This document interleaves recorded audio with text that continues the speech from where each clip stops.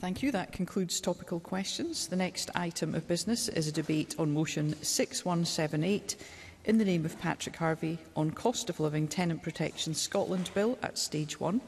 And can I remind members that I will put the question on this motion and the financial resolution immediately after the financial resolution has been moved. And can I ask members who wish to speak in this debate to please press their request to speak buttons now.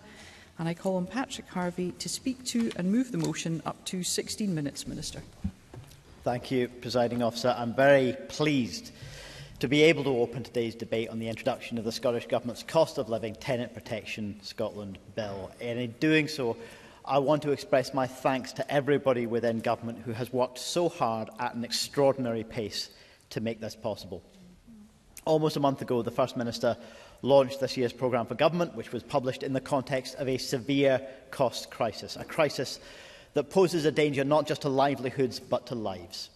Now, at that time, perhaps we thought it couldn't get much worse. But thanks to the frankly astonishing actions of the UK government in the last two weeks, it has. Make no mistake, this has the makings of a humanitarian emergency. This Parliament doesn't have all the levers we really need to fully tackle this crisis, but we are determined to do what we can with the powers we do have to protect those who need it most.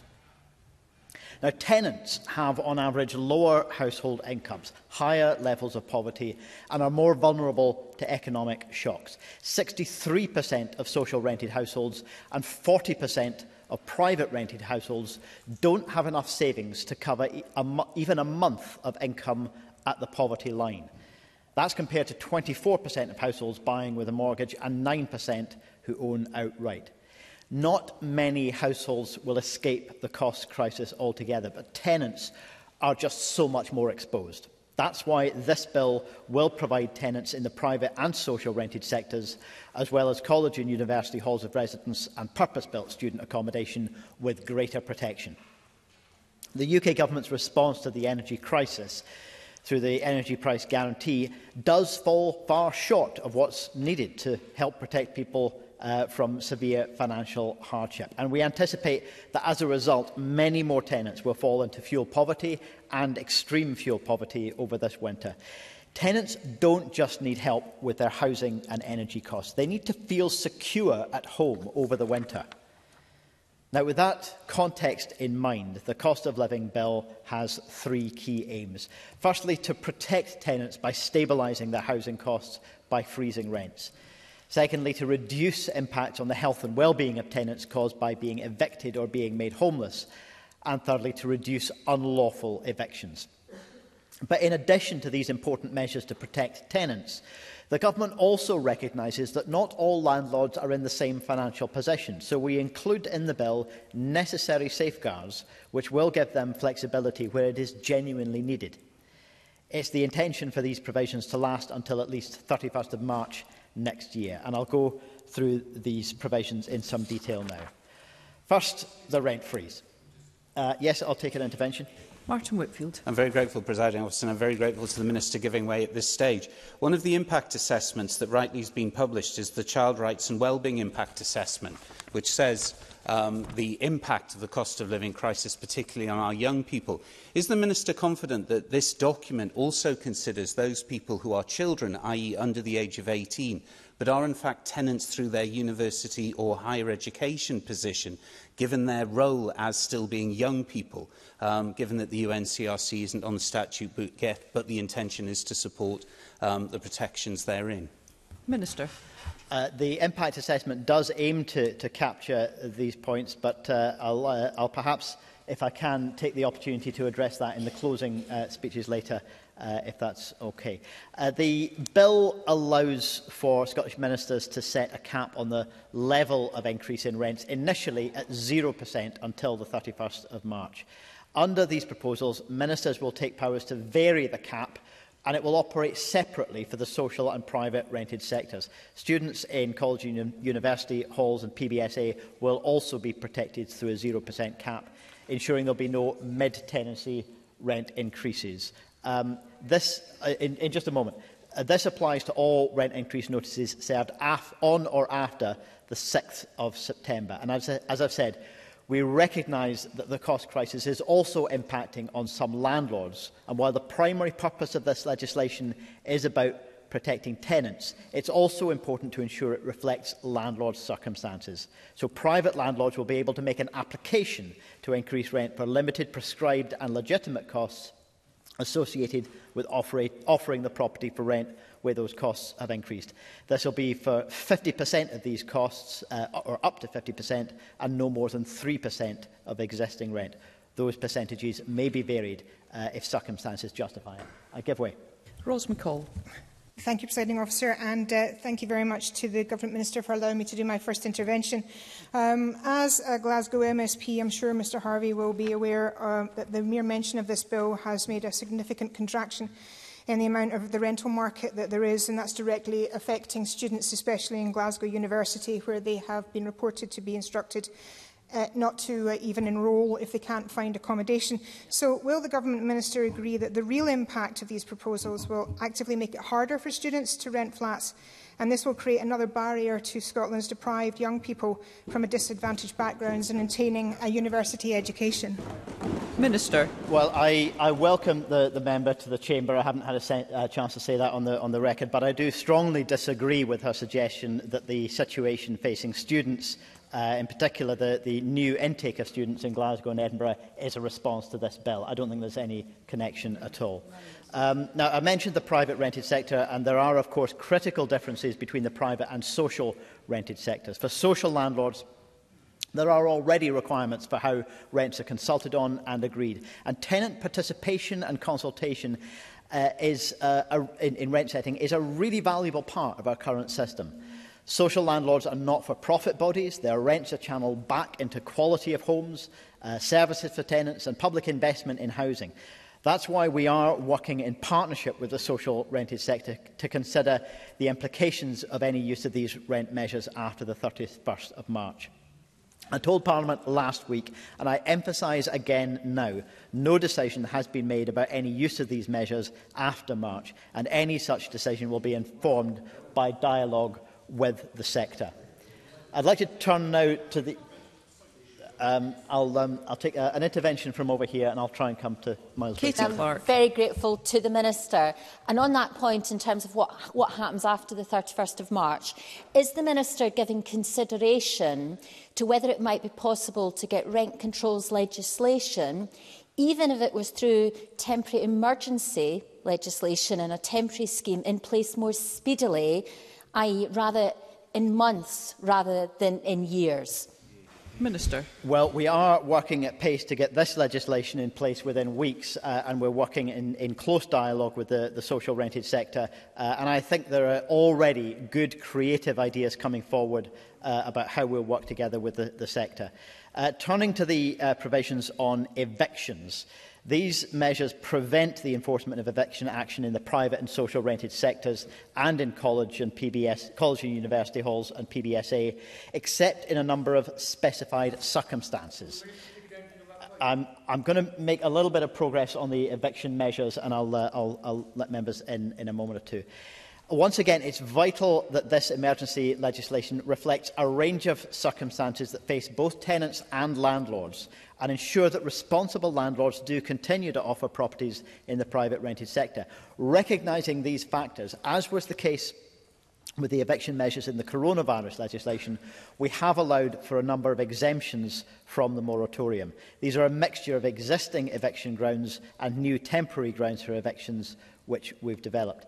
This includes allowing evictions in cases of criminal or antisocial behaviour to protect other tenants and neighbours from behaviour that can have a hugely damaging impact on communities, in cases where a tenant has abandoned a property, in cases of repossession by lenders to ensure uh, that there's continued lender confidence in the sector, uh, and also in cases where a landlord intends to sell the property or to live in the property specifically to alleviate financial hardship or prevent their own homelessness. These last two grounds uh, are new. In effect, they're existing versions, uh, uh, versions of existing grounds, but with the important caveat that financial hardship must be demonstrated, and we'll work with the tribunal uh, to support implementation of this. Uh, if Mr Balfour would like to come in. Jeremy Can I thank Balfour. Minister? I wonder if you can maybe clarify the situation for me. In regard to university students, if they don't pay their rent but can't be evicted, uh, the normal place that you, you then are not allowed to sit your exams and go on to the next year. Does this legislation supersede that, or would universities still have the right to stop people sitting exams and going on to another year if you don't pay their rent? Minister. Well, I'm, I'm aware that there have been some concerns expressed uh, that some, and I think a minority of tenants, uh, it, would, it would always be suggested, uh, might be tempted to stop paying rent even if they can afford it. And that's where I'm going to move on to the, the additional ground for eviction, which we're exempting from the moratorium. We have taken the view that both in the social and private rented sectors, eviction may still take place in cases where there are substantial rent arrears. Uh, I want to lay this out in a little more detail because I know some members have concern about it. For the private rented sector, this means a total value of av at or over six months' worth of rent arrears. And for the social rented sector, it means rent arrears of £2,250 or more. That's around six months' worth of average rent in the social rented sector. The decision on this has not been an easy one, but having considered it at length, I'm firmly of the view that this will act as a safeguard both for landlords and for tenants. It will allay the concern that a minority of tenants might stop paying the rent even when they can afford it. Ongoing substantial rent arrears can mean a landlord could find it increasingly difficult to offer the property for rent, uh, especially where no rent has been paid for a prolonged period. But in addition, For a tenant facing unsustainable rent arrears, simply prolonging the situation will only increase their debt and financial insecurity and can trap them with debt that they will never be able to service. The protection that a tenant needs in these circumstances is different. What they need is direct support, and we're already making that support available through discretionary housing payments and through the Tenant Grant Fund uh, which was introduced uh, in recent years and which more recently has had additional flexibility added to it to allow it to be used uh, for more recently accrued arrears not related to COVID. I give way to Miles Briggs. Miles Briggs. regards to the tenant grant fund, that is a loan. Uh, so in terms of going forward, the ministers intend to provide that um, as a grant, which would not be paid back to individuals. Minister. The, uh, uh, originally, under the, the, the initial coronavirus measures, there was a tenant hardship loan fund. There is now a tenant grant fund. That's been the case for, for some time. And uh, I'm, I'm going to have to, to move on, I'm afraid. I've taken quite a, quite a number. Um, as a result of the changes that Parliament approved back in June, uh, any uh, e, eviction for rent arrears also already has to take into account all of the circumstances of both landlord and tenant as judged to be reasonable by the tribunal or court. And it also has to demonstrate that steps have been taken to help tenants manage or reduce their arrears. The bill also contains uh, a, provision to ensure that the restriction on the enforcement of, a, of an eviction order applies only for a maximum of six months from when the order was issued. This applies to individual cases and is separate from the consideration of whether or not the moratorium on evictions will be extended beyond March 31st. These restrictions will apply to all eviction orders granted in proceedings raised after the moratorium comes into force and also apply to proceedings raised before the bill comes into force where the eviction notice was served after 6 of September. It will not apply to eviction orders granted in proceedings raised before the 6th of September. Our aim here is to ensure that no one is evicted in a case started after or in response to the announcement of our intention to introduce an emergency rent freeze. Presiding officer, we know that many private landlords are very professional and supported their tenants during the pandemic, but we cannot ignore the fact that a small minority will try to circumvent these new protections, including by trying to unfairly bring existing tenancies to an end. This is an affront both to tenants and to those landlords who follow the rules. That's why the bill uh, also makes some vitally important changes to the way in which civil damages can be awarded for unlawful eviction, making it more attractive for tenants to challenge an unlawful eviction and receive appropriate damages where one has occurred. The provisions introduced today uh, replace the basis for assessment of damages that the tribunal or court can award to a minimum of three times and a maximum of 36 times the monthly rent, though there will be discretion to award a lower amount if that's appropriate. In addition, the legislation will create reporting requirements where a landlord has been found to have unlawfully evicted a tenant. This will act as a strong disincentive to those unethical landlords who would seek to avoid going through the, pro the proper legal process. I'll now turn to the, the measures on rent adjudication. This part of the bill looks ahead to a time when hopefully we'll be entering recovery from the cost crisis and are therefore able to tra support transition out of these emergency measures. A big concern here is that the lifting of the restrictions could lead to a large number of landlords seeking to increase their rent all at once. Returning straight to open market rents could result in significant and unmanageable rent increases for tenants and a volatile market. In these circumstances, the existing rent adjudication process would not provide an effective mechanism for determining a reasonable rent increase. So the bill therefore contains a regulation-making power to temporarily reform the rent adjudication process to support transition out of the emergency measures and to mitigate any unintended consequence from the ending of the cap. This power will be subject to the affirmative procedure Uh, I'm afraid I, I do need to, to finish up in, in the next minute or two, uh, ensuring that appropriate parliamentary scrutiny is given to the necessity for any temporary changes proposed. Uh, finally, presiding officer, uh, on the general provisions, we're seeking to commence the bill the day after royal assent. We propose the flexibility to extend the provisions in Part 1 for two subsequent six-month period, if Parliament agrees, and the powers in Part 3 on rent adjudication will expire at the end of March 24 with the option to be extended by periods of up to one year. Uh, and there will be powers to suspend and revive the provisions in Part 1 and powers to expire these provisions earlier than March 31st. And similar to the coronavirus legislation, there will be a requirement to review and report on the necessity and proportionality of the provisions in Part 1, and ministers will be, ministers will be required to bring forward regulations to suspend or expire any provision that is no longer appropriate.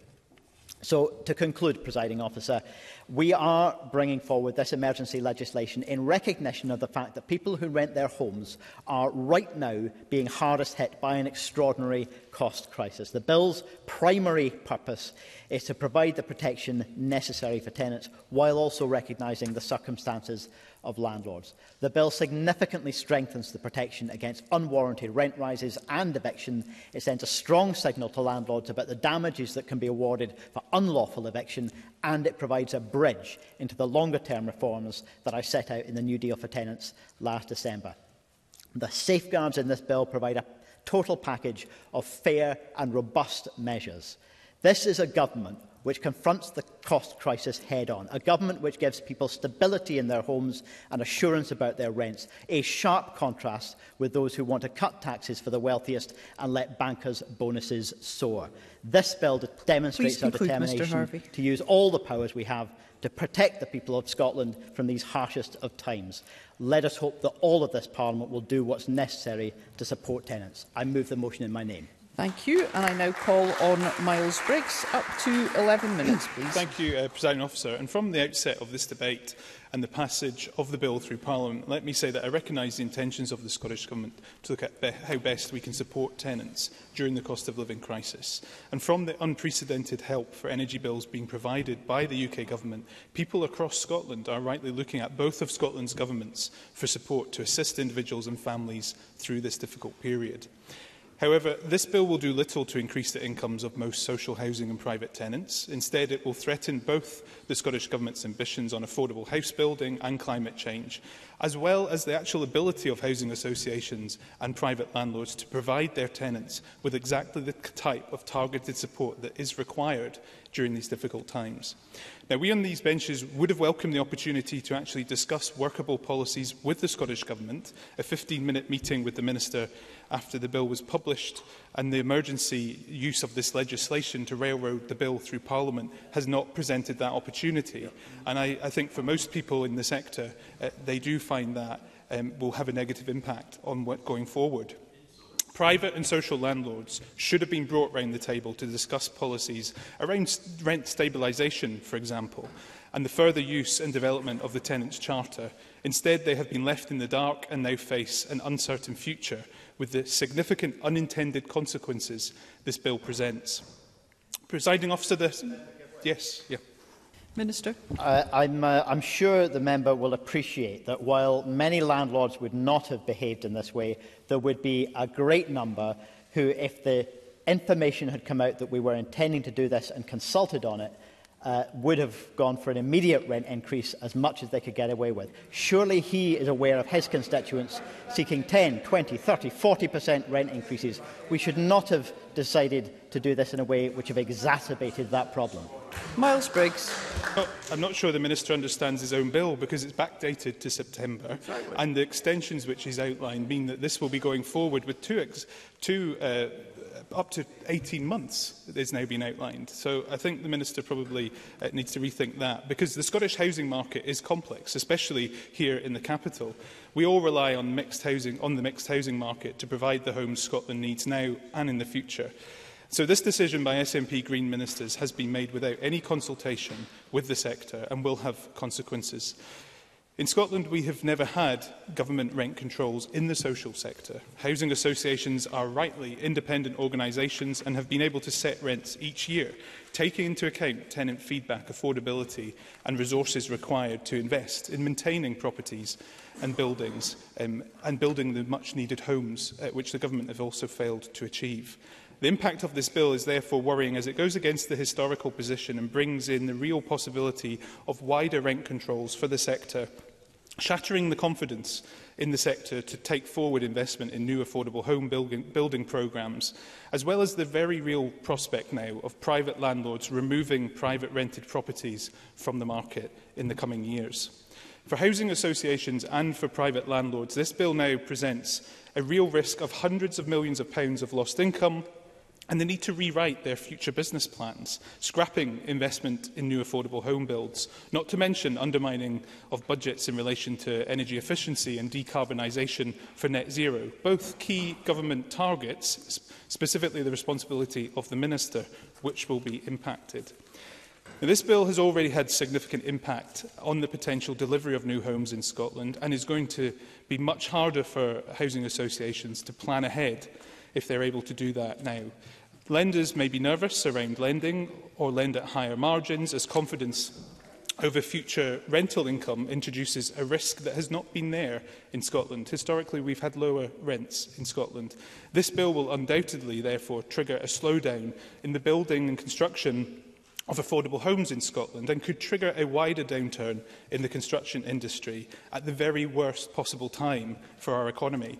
Presiding officer, just a few short months ago, Yes, happy to. Cabinet Secretary. I think that the uh, rise in interest rates um, that is a direct uh, cause or eff effect of the mini budget of his government um, that has sent mortgage rates spiralling. Do you think that that might have an impact on landlords of all uh, social and the private rented sector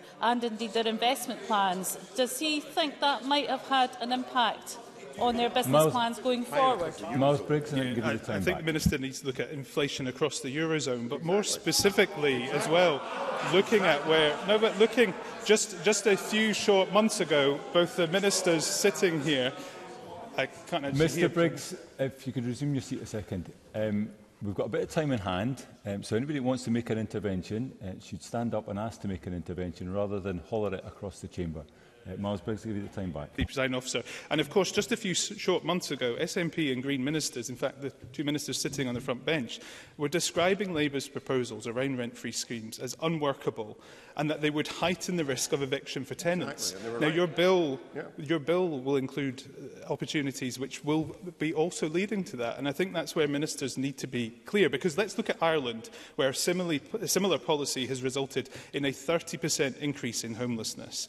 We've already seen and do see here in, in Scotland and in Edinburgh a record number of people living in temporary accommodation in Scotland. This bill has the potential to supercharge the housing crisis in Scotland with fewer private tenancies being made available, fewer new affordable homes being built and the ripping up of the very tenants' rights framework which we here ministers want to see protect tenants. For example, the circumventing of local authority rent setting processes will not, over, not only override the statutory responsibilities of elected members, but also local processes currently in place for tenants to actually have a constructive opportunity to have their say and input into rent settings and negotiations. Presiding officer, there's a real and growing concern in the Scottish housing sector around unintended consequences of the bill, and I hope the Minister heard that at committee this morning. We're already seeing the impacts on students, as has been outlined by members with both Glasgow and Stirling University is telling students not to matriculate unless they have secured accommodation.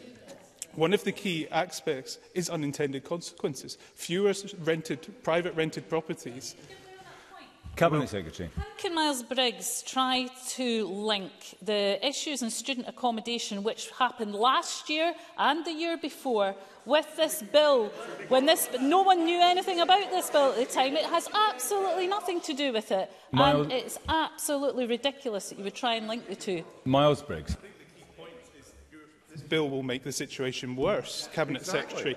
You and your government have presided over 15 years of this housing crisis, and this will supercharge it now. And in ye the years, years to come, the situation can only get worse for students if there are fewer private rented properties available, and that is clearly going to be the impact of this bill. Sign officer, it's clear that what we have seen already from this SNP Green government is is likely to use its majority in Parliament to push this legislation through without listening to genuine concerns or accepting amendments.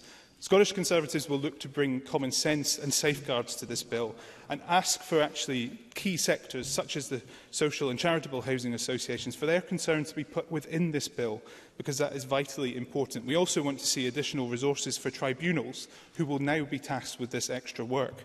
And also what is key to this going forward, and the Minister didn't really outline this in any detail, is incorporation of robust planning and monitoring of the potential negative impacts of this bill. That is going to be critical. It is also not clear how long ministers actually intend to freeze rents or keep in place rent controls beyond what the First Minister described as the March 31st date. Therefore, we need to see uh, that time limitation put in place. What mitigation measures are also going to be provided for social and private landlords? To conclude, presiding officer, the process which this bill has been introduced under has been unacceptable and flawed and also looked to bypass any real in-depth scrutiny that Parliament could bring to it. And the very organisations it will impact not being able to also uh, be part of this conversation. SNP Green and Labour MSPs are about to use Scotland as a guinea pig and undermine the foundations of Scotland's housing market. Signing officer, international rent control schemes demonstrate the negative impact which rent controls can have and indeed the long-term negative consequences this will have on our Scottish mixed housing market. We know how this will end. Fewer private lets, a slump in building of affordable homes, increased rents for future tenants, and students unable to secure vital accommodation to go and study at university. SNP Green and Labour MSPs will be directly to blame for this significant damage done to our housing sector. The greater housing crisis which will come from this will be at their desks.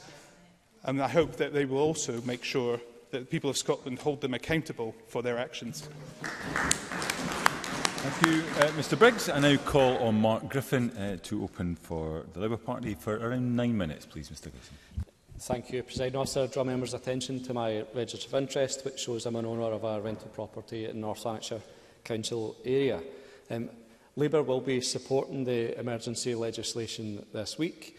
We want to see this rent freeze and moratorium on evictions on the statute books without delay. In fact, we wanted to see it happen months ago. When we called for emergency legislation in the summer, we did so because we know that the government has the powers to help people battling with living costs. And even if it has taken months to get to this point, we welcome the change of heart within the SNP Green Government. And it goes without saying that thousands upon thousands will struggle to heat their homes or keep a roof over their head this winter. People who were previously just managing find themselves pushed to the brink with repeated financial shocks.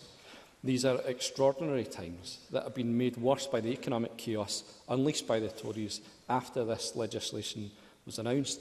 That chaos will make this winter longer and harder than any of us expected just weeks ago, and the blame will rightly be at the door of the Conservatives for the sky-high interest rates that we see pushing up people's bills right now. Food, heating bills, fuel costs, and of course spiralling on rent keep going in one direction, and that is up. I'll take the intervention. Liam Kerr. I remind the Chamber that I do have a rental property, uh, like the Speaker. Um, the member talks about heating over the winter. Now, the fabric and structure of housing uh, is going to be key to the heating and to the health and well-being that the Minister talked about earlier. Now, one housing association wrote to me saying a rent freeze means associations will have to cut back on improvement and maintenance programmes. How does the member suggest that housing associations raise the money to keep those going? Mark Griffin. If the member had heard me in the chamber over the last six months, he'll have heard me repeatedly calling on the government to insulate as many homes as they possibly could before the winter. But similarly, housing associations have said that they are able to manage their existing programmes up until the 31st of March, and Scottish Labour will be tabling an amendment to make sure there is additional funding provided for social landlords if the, the freeze goes beyond that date to provide tenants and those associations with assurance that no capital investment programmes will be affected, and I look forward to the members' support on that amendment. It, I'd just make a bit of progress. Um, my colleague Mercedes Villalba made the case for an immediate rent freeze back before we broke for summer recess because it then, even then it was increasingly the only solution to offer tenants temporary respite from the escalating crisis that we see right now. But at the time, it seemed like the government didn't want to, to listen to that evidence.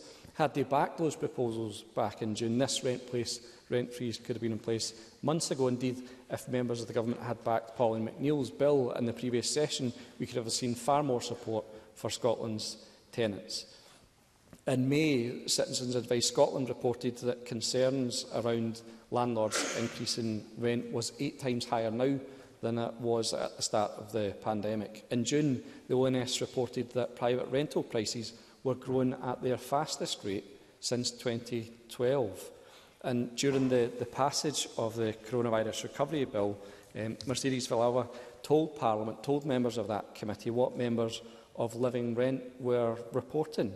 A tenant whose landlord increased their rent by £300 with no reason they were forced to leave. Another landlord decided he could raise the rent by £100 to £900 just, having a look, just by having a look at the average rents on the street. Another with a pregnant wife living on a top floor flat with nicotine saturated carpets, whose landlord increased the rent by £150 because he, and I quote, could not be expected to stand still while the market moves on. Talking about people's homes. I'll take the, so, uh, so I'll take the intervention from Mr Mountain first. Edward Mountain. I thank the member for taking my intervention and I too have rental properties. Under the Housing Act, uh, sorry, the Rent Act 1984, the Housing Act uh, 1988 and the 2016 Act, every tenant can appeal a rent rise and it would be much simpler if this government had given a determination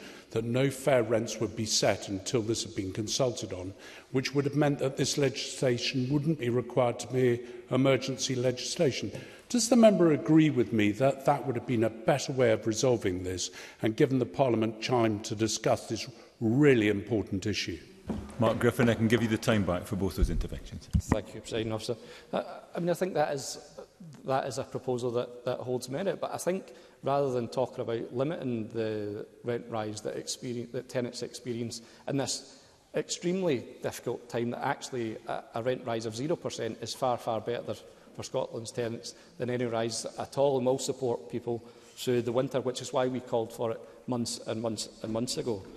But the, the government were ready to turn a blind eye to those calls. We heard the, the usual excuses from ministers and government members back then that amendments weren't competent, they'd be subject to legal challenge, that government hadn't consulted, that they would in fact, in fact push up rents. Now, those were excuses that have been advanced by the government months ago to dismiss um, Labour's campaign for a rent freeze, but now um, seem to be accepted as absolute nonsense. But I'll give way. Minister. I'm grateful to the member for giving way. Uh, to, to put this in, in the kindest possible tone, surely the member can see some slight differences between what was proposed as a, an amendment to the Coronavirus Recovery and Reform Bill and the blanket two-year uh, rent freeze with very little legal justification offered and the much more substantive, well worked up proposal that's before the Chamber this week. Mark Griffin. But, I mean, the justification for it was the severe hardship that tenants were and are facing, which is why the government have acted. So it does seem like the moves that Labour made were justified. But it clearly was an opening um, point in uh, debate. It was an invitation to government to get round the table and discuss how we seriously implement measures like that. And instead of just poo-pooing the idea and then coming back months later to claim it as their own, they could have worked constructively. They could have included my colleague Mercedes Villalba in this whole process, and everyone would have been a lot better placed for that. But, Presiding Officer, it has taken a, a month for tenants to have sight of the detail. We will continue to scrutinise the content of the bill to ensure that there is the flexibility to deal with um, the crisis in the long term while guarding against any potential unintended consequences. Um, because there, there, there does remain a, a very real threat of more unmanageable arrears and homelessness after the moratorium ends. Um, it's not a, a feature of this bill, but we would urge the government to renew the tenant grant for, um, funding um, urgently and uh, welcome provisions to review and report on measures and for Parliament to then come back and agree to whether to extend or, or end those powers. Likewise, eh, new verification processes and protections against evictions are badly needed. But I think communication about the cap, the, the moratorium and the right to those protections is key.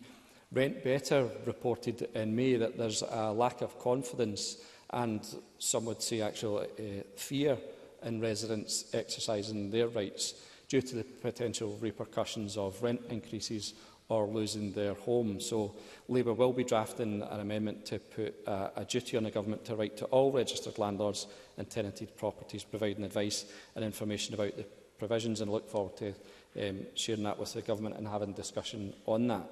Um, but the, the fact still remains, though, that rents will continue to rise between tenancies at what look like increasingly higher rates and that actually rents will rise in tenancies right now until the 5th of December. Now, there is a contrast between what the First Minister said in her statement in the programme for government that, and I think she said the practical effect of her statement was that rents would be frozen immediately. There is a gap between that rhetoric and what will happen in practice. Um, rents will not be frozen until the 5th of December due to notices being issued in advance of the 6th of September, still having a three-month notice um, period, and that is um, confirmed by the policy memorandum.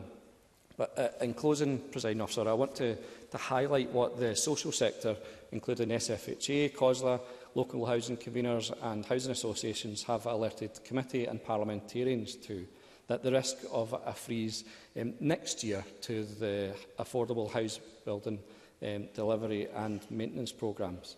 Uh, last week I visited uh, tenants and staff at Abram Hill Housing Association's new Aspen Place development and new, warm, affordable homes that we need to see many tens of thousands more of. And they told me about the financial implications of a rent freeze for next year.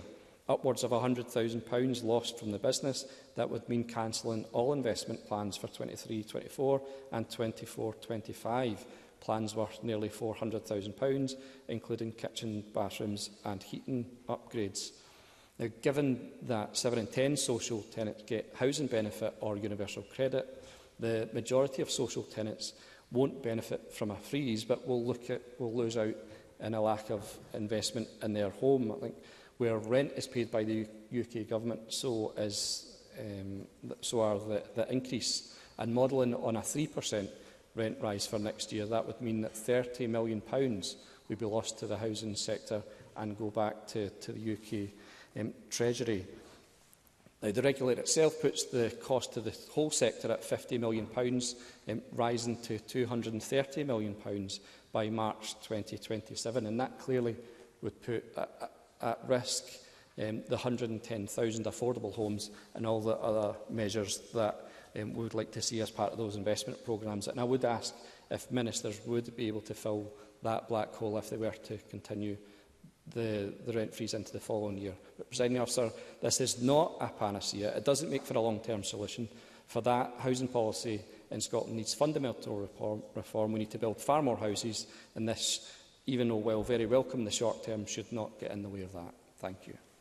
Thank you very much indeed, Mr Griffin. I now call on Willie Rennie uh, for around six minutes, Mr Rennie. Uh, thank you, Deputy President Officer. Eh, it's right for the government to take emergency steps in an emergency, and this is certainly an emergency. It's extraordinary, the cost of living pressures, and they've been exacerbated by a reckless Conservative government. But I want to make a, an appeal to the Minister today. It, we will support the bill at stage one, but we are opposed to the inclusion of social rented properties in the rent freeze. And we're also concerned about the inclusion of mid-market rental properties as well. Those homes are already subject to a form of rent controls, so I don't think it would be right to impose another set of controls with a freeze. That would undermine the fine judgments involved in setting those rents by housing associations, councils and charities. Those fine judgments mean social rents are about half those in the private sector, whilst also funding proper maintenance and house building programmes. And those fine judgments enable the councils, housing associations and charities to modernise the homes, make them more energy efficient, meet their climate change obligations and build new properties for the thousands of people desperate for a home. And finally, those fine judgments will allow for targeted funds to be available to help those struggling to pay the rent. So let's not undermine all those fine judgments that have worked well for decades. Let's stick with what works. Well, of, well over half of all the properties in the social sector are occupied by tenants who pay their rent through universal credit. In Cairn Housing Association, it's 60%. In Kingdom, it's 70%.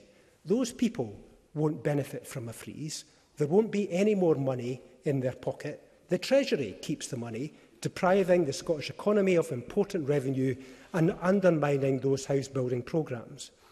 With this targeted support and the universal credit rental payments, is the rent freeze for the social and mid-market sector really worth it when it could undermine the house, house building, maintenance and climate change programmes?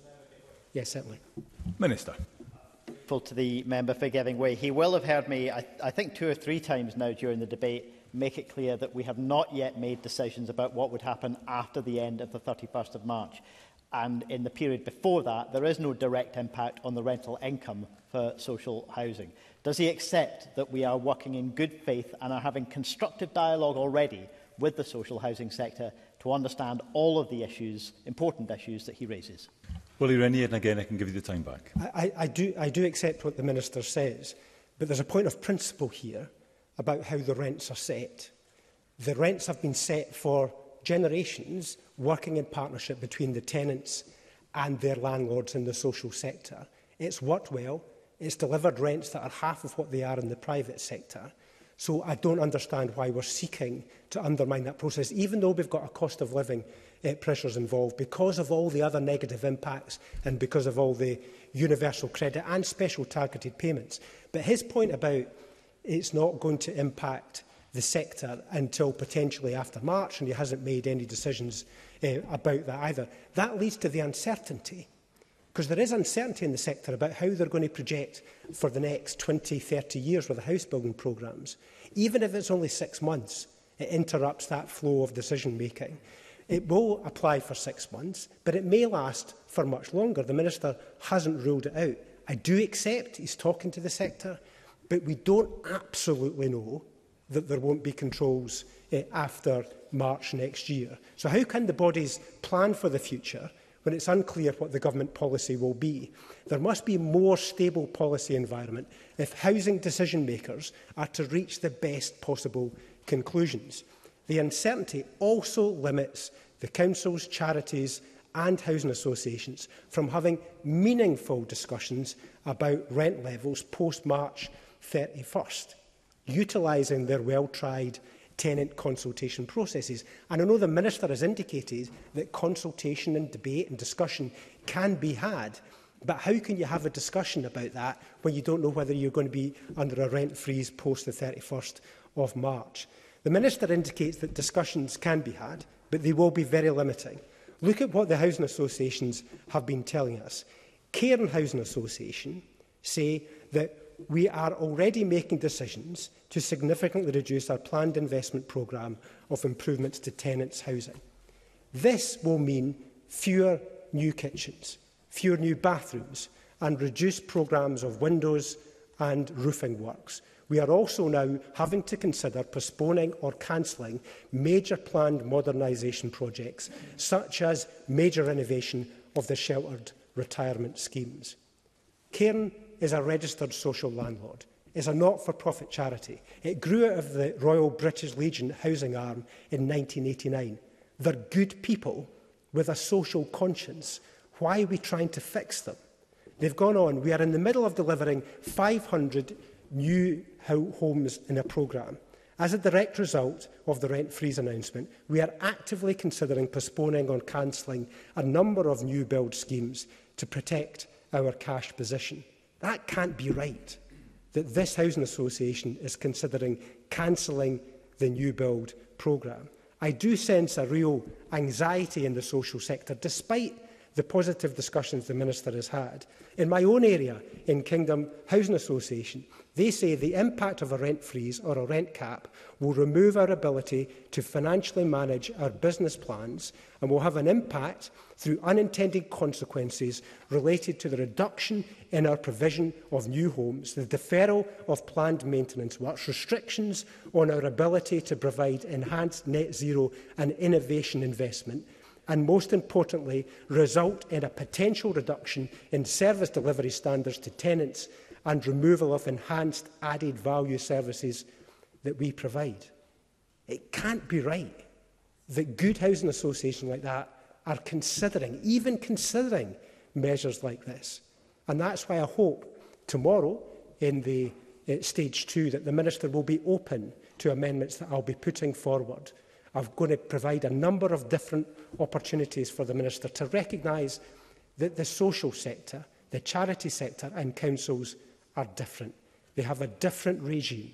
They have rent controls of sort in place already. It's well tried and tested systems. They have rents that are half the private sector.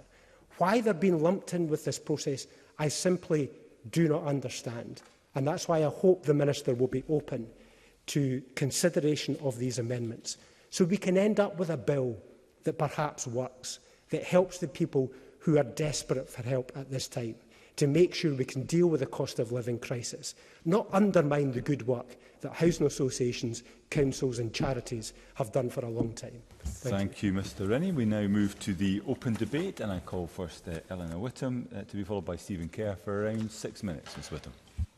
Thank you, Presiding Officer. Today we see a clear evidence that our Parliament can act quickly to bring about protections for those who rent their homes during a time when we are seeing the cost of living spiralling.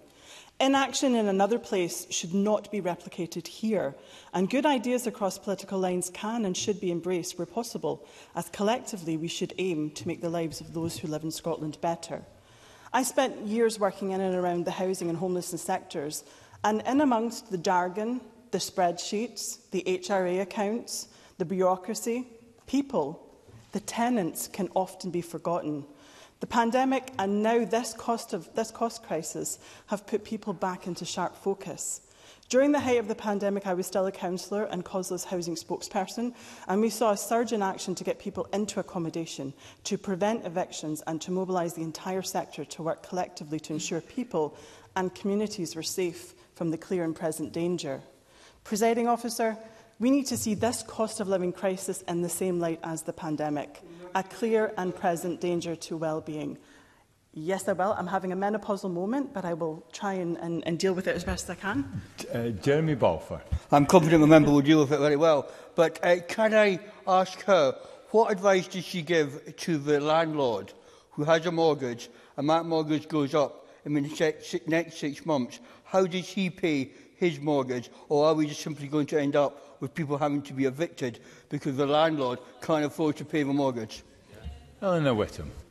Thanks very much, um, Jeremy Balfour, for that intervention, um, because it allows me to actually turn that focus back around on why we have spiraling inflation and mortgages are actually hitting a point where it might be unsustainable for some landlords. And I think within the provision in the bill, we see that there, you know, if landlords are facing a situation where they cannot afford the increases, there's protections within it for them. And I think they have listened. I think we can see that they have listened um, to the private um, landlord section.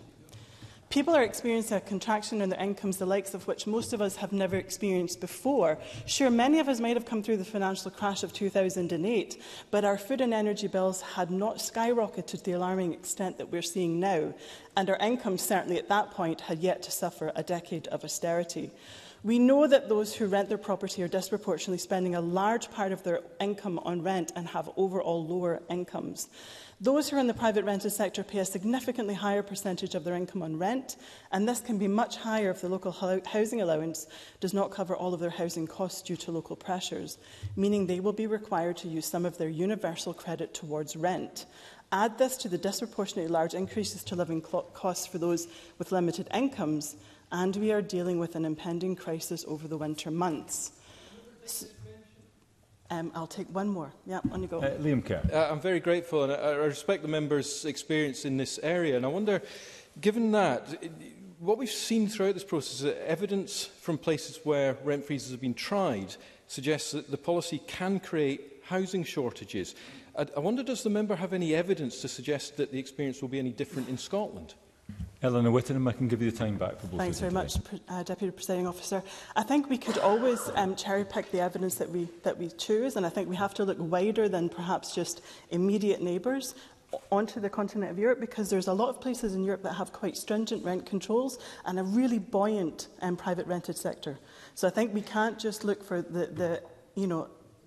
um, ones that we choose to because they suit our narrative. So I would urge the member to actually have a look at that um, in his own time. Social justice and anti-poverty campaigner Jack Monroe, who is the bootstrap cook, drew attention to author Terry Pratchett's concept of the boots theory of socio-economic unfairness, according to Discworld character Sam Vines. The reason the rich are so rich, Vines re reasoned, was because they managed to spend less money, wrote Pratchett. Take boots, for example, he said. A really good pair of leather boots costs about $50, but an affordable pair of boots, which are sort of okay for a season or two, but then leaked like hell when the cardboard gave out, cost about $10. Someone who could afford $50 had a pair of boots that would still be keeping their feet dry in 10 years' time, whilst a poor person who could only afford cheap boots would have spent $100 on boots in that same time and still have wet feet. Deputy Presiding Officer, with the rent increases in the private rented sector of up to 40% in the recent past, Scotland's tenants' feet are ringing. This evaluation of socio-economic unfairness is hugely pertinent today, as we see our most vulnerable bear the brunt of austerity and, frankly, economically illiterate fiscal events in another place, and why it is right that we have this bill before us today that seeks to place a cap on rents to 0% and reintroduces a moratorium on evictions until the end of March 2023. Folk with the least are paying the most for essentials as a percentage of their income. Women, those with disabilities and from black and minority ethnic communities are facing the starkest of choices and it is incumbent upon us in this place to ensure they do not face rent increases that could lead to homelessness during a cost of living crisis. This is a humanitarian crisis in every single community. Now, whilst the Scottish Government does have, not have control over energy or inflation, it has sought to mitigate the worst effects within a largely limited budget to the tune of £3 billion every single year. And with these emergency measures, increases to the Tenant Grant Fund and discretionary housing payments, along with... The member yeah, just winding up. Yeah, sorry. Along with fixed abilities to allow cost of living and fuel poverty issues to be considered, this means there is support for those who cannot afford to cover all of their housing costs at this time. It's vital that these funds are publicised and maximised at every opportunity, along with the Scottish Welfare Fund. And I welcome Mark Griffin's um, suggestion that we write out to all um, registered landlords to make sure that they do that. With regards to the proportionate measures set out to protect landlords facing financial difficulties, I would also ask that we work to ensure where a landlord needs to sell their property, they are supported to do so with a sitting tenant, and that if appropriate, local authorities also and also registered social landlords consider buying back as many as they're able to. This would also protect the tenant to continue to live in their home without disruption. Presiding officer, housing is about much more than bricks and mortar.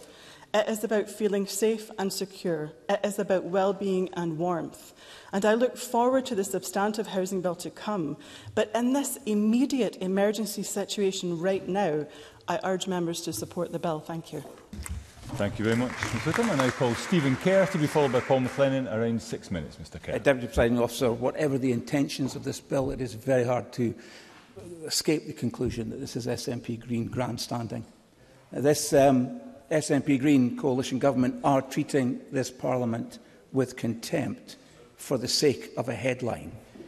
This is a bill that will create homelessness.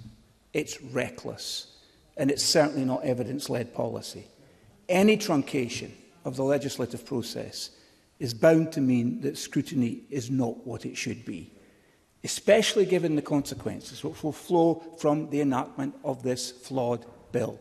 Mark the warnings of the expert voices in the sector. They could not be clearer. And deep down, I can't help believe, Deputy Presiding Officer, that the more thoughtful members of the SNP and Labour know the grave concerns being raised from the sector are well grounded, as was cited by Willie Rennie in the evidence of the Cairn Housing Group. I will. Uh, Minister. I'm grateful to the member. He mentions experts in the sector. Does he accept that tenants are experts in how the rented sector works and that tenant organisations have been crying out for this. Stephen Kerr. Of course I accept that tenants, very important part of the, of the rental housing market.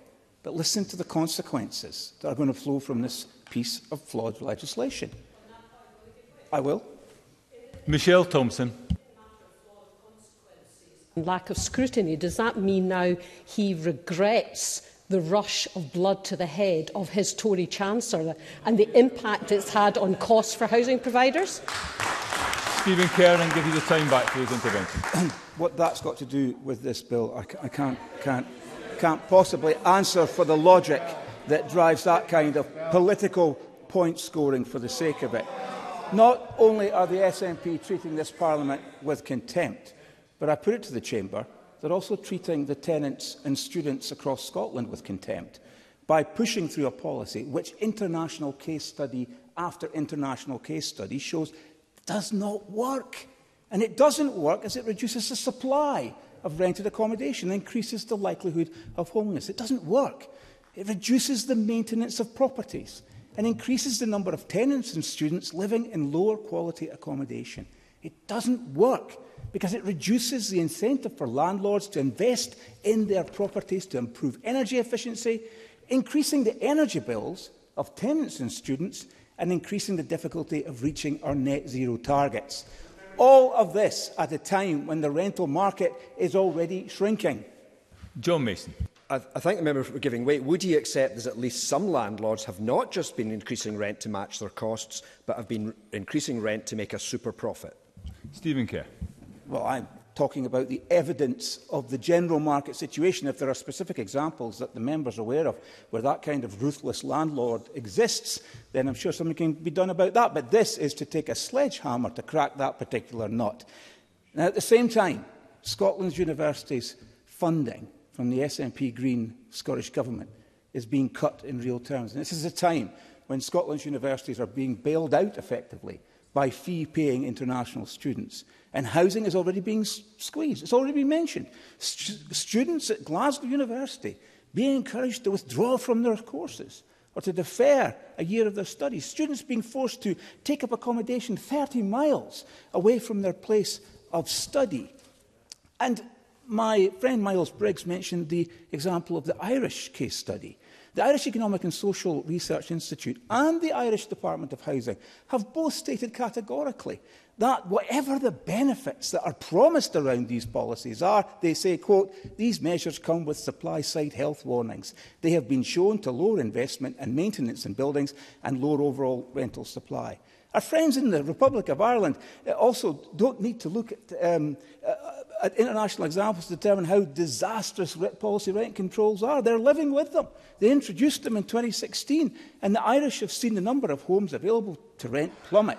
And as of uh, August this year, only 716 homes were available to rent in a country with a population of 5.1 million people, a byproduct of this shocking increase is homelessness. Again, according to the Department of Housing, figures in July this year in Ireland, there were 10,668 adults and children who were homeless across the Republic of Ireland. This is a record high, a 30% increase on the homeless figure since May 2021. It's just not, and it's not just Ireland.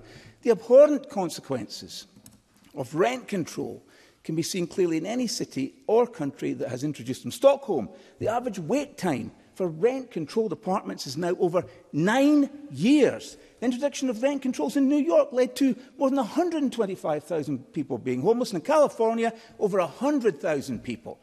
So we have University Scotland, the minister shaking his head, but we have University Scotland's response to the bill and their warning of unpalatable, unintended consequences. First, University of Scotland makes the point that it has already acted to protect students for the next academic year as rent, including bills such as electricity, are fixed for the next academic year, so will not increase regardless of inflation or changes to gas and electricity prices. Second, if the rent freeze lasts more than six months, it could mean that the cost of running student accommodation will become financially unviable, putting jobs at risk and reducing, further reducing supply. Third, th th this is from University of Scotland. Third, and I asked the Minister to make the government's position very clear on this point, University of Scotland state that banning eviction would put students at risk if universities are unable to evict an individual whom they believe poses a risk of sexual or physical violence to other students. I'm willing to take an intervention. Minister. I'm grateful. The member will be well aware that as with the temporary restrictions under the coronavirus legislation, criminal and antisocial behaviour, and that's not just criminal, antisocial behaviour as well, is very clearly exempted from the moratorium on eviction, just as it was in the previous emergency legislation. Stephen Kerr, be grateful if, if you could begin to wind up, please. If an individual is believed to pose a risk in terms of sexual or physical violence, they can be evicted. Is that what the Minister is saying? Can you shake your head, Minister? Well, that is not, that is not what I'm asking. So I think we need some clarification from the Minister on that. From, this is what University of Scotland are asking. If the universities I'm sorry to indulge the patience of the Deputy Presiding Officer. Fourth, if the, minister, if the universities can't ask students to depart accommodation on terms agreed, then this will put vitally important revenue-generating summer events at risk. It will also put at risk accommodation for the following academic years, first year student intake. That's a very important consideration. And finally, University of Scotland believe that the focus should be on long-term strategy and not on this emergency bill that has had so little, so little strategy. I think the Minister should deal with each of these concerns expressed by Uni University of Scotland in, in, in his or her response to this debate. And at that, I will conclude.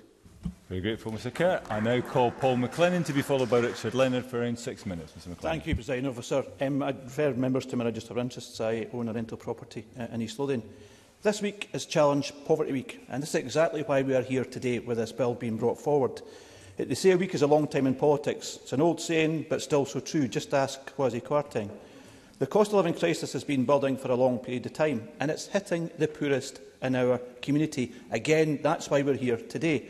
Of course, the Russian invasion of Ukraine has exacerbated the issue in terms of inflationary pressures, but those pressures were there before then. The price energy cap it was set at an average 2,500. A reminder, it was 1,100 in 2019. However, the 2,500 is an average, not a limit. Maybe somebody should tell Liz Trust that too. Recent studies show that 25% of people in Scotland and up to 35% of single-parent families will not be putting the heating on this year. For context, that's 25,000 residents in East Lothian. 72% of residents are projected to be in fuel poverty in Scotland this winter. That's over 70,000 residents in East Lothian. Rental costs are usually the biggest costs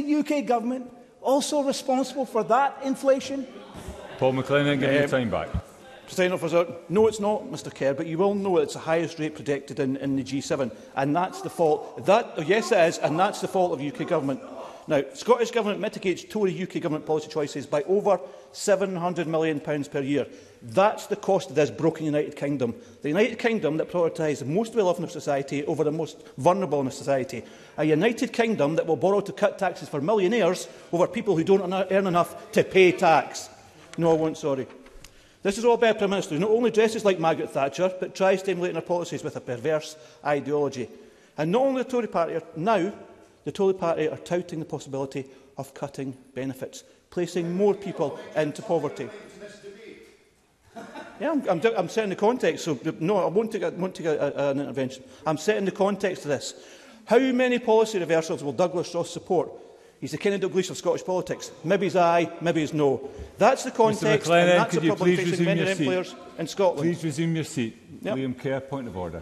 7.2, uh, I think it is, requires that the member address himself to the subject of the motion. I would suggest that the member does that.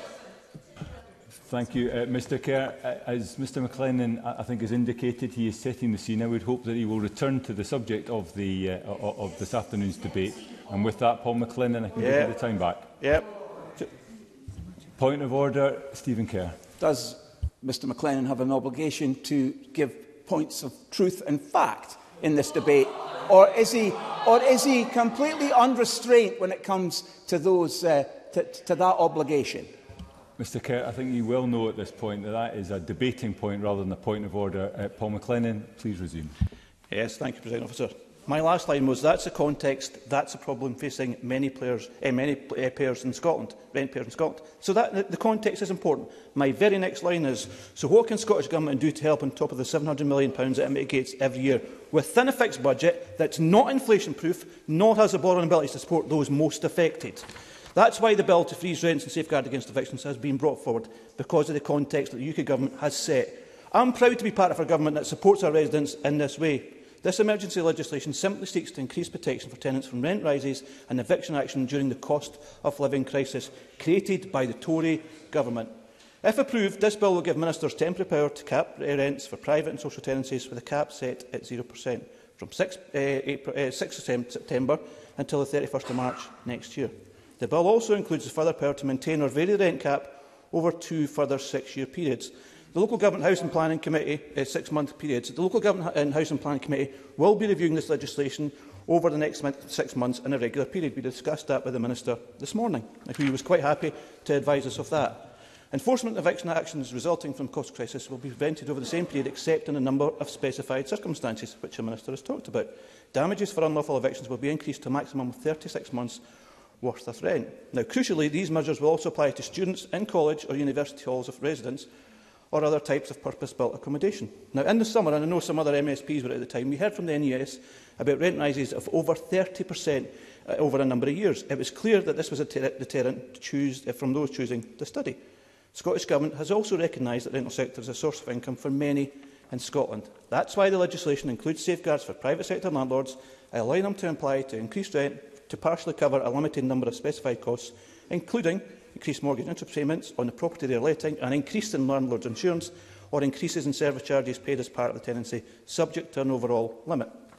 President Officer, I want to close with four priority areas that was raised in the joint briefing from Citizens Advice Scotland, Joseph Rowntree Foundation, Poverty Alliance and Shelter Scotland. The four priorities were protect all tenants from rent increases and eviction, except in cases of antisocial or criminal behaviour, recognise and address unintended consequences for both tenants and landlords, Three, incorporate uh, a, robust plan for monitoring impact.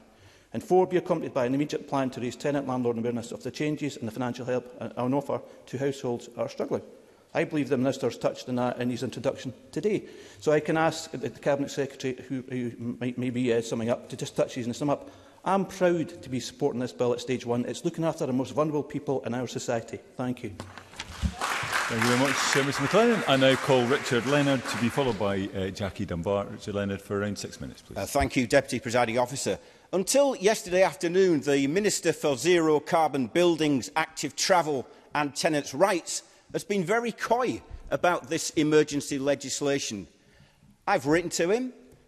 I know that Mercedes Villalba, who is sadly unable to be here today, who has courageously led Parliament in this campaign for a meaningful rent freeze has written to him seeking clarity, but he refused to give it. What we do know is that the Scottish Association of Landlords met with the government just last week. And they could tell their members after that meeting, and let me quote them, it is expected that landlords will still be permitted to serve tenants with notice to end the tenancy as normal. If the tenant doesn't vacate during the notice period, landlords can then apply to the tribunal for an eviction order as normal. They go on.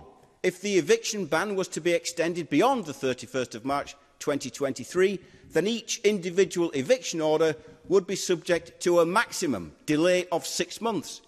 E.g., an eviction order issued in December 2022 could be enforced in June 2023 at the latest, or on the 1st of April 2023 if the ban isn't extended, and the bill confirms this to be true.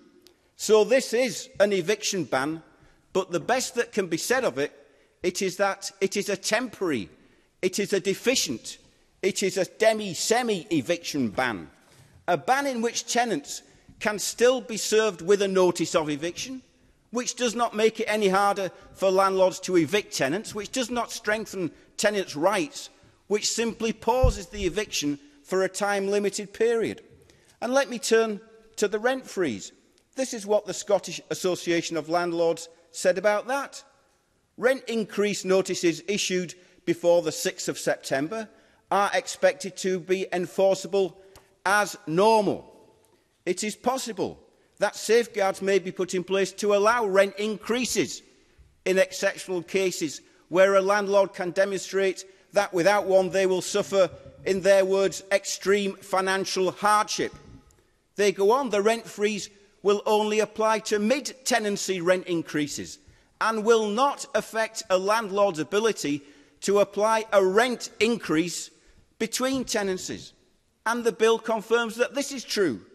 So this is not only a long way from a universal freeze on rents, there is a real danger that the government's promise of a rent freeze this most significant announcement, in the words of the First Minister, will melt under the heat of fact.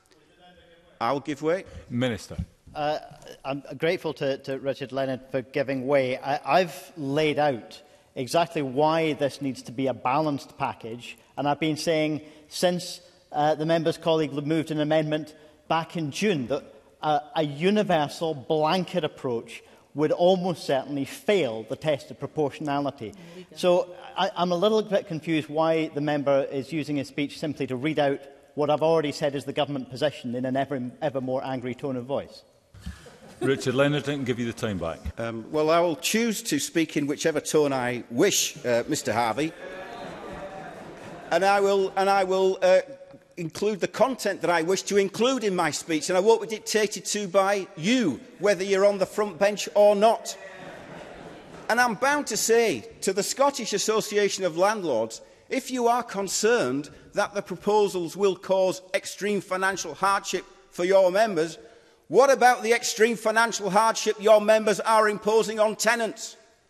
And if landlords are complaining that their altruism is being tested, that a temporary rent freeze will drive them out of business and so the supply of homes for rent in Scotland will dry up, I say to them, if this really is about altruism, why not sell your private rental properties to the public sector so they can become socially rented homes and the tenants can stay? What we truly need is a rebalancing of power between landlord and tenant. At the moment, if a tenant considers their rent to be unfair, the onus is on them. Firstly, to know that there is such a thing as a rent officer. Secondly, to know where to find a rent officer. Thirdly, to contact that rent officer and get them to undertake an assessment. And fourthly, to then negotiate the implementation of that fair rent with the landlord themselves. So I say to the Minister for Tenants' Rights, why shouldn't the burden of proof be placed on the landlord to justify any rent rise, rather than on the tenant to win a case against it.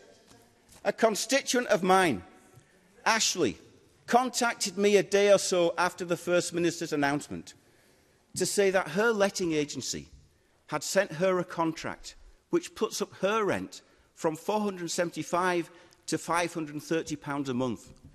Her rent doesn't include her bills, like gas and electricity the mortgage on the property is paid off.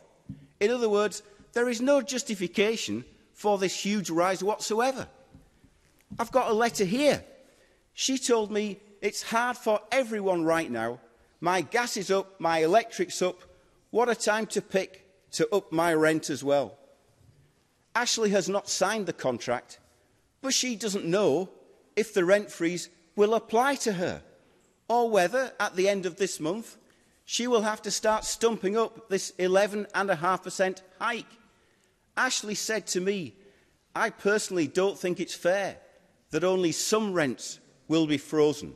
She is right, and Ashley speaks for thousands of young people like her. So a temporary freeze will not help. If it is designed to take the heat out of this effective grassroots campaign that has got us to where we are today, it will not work.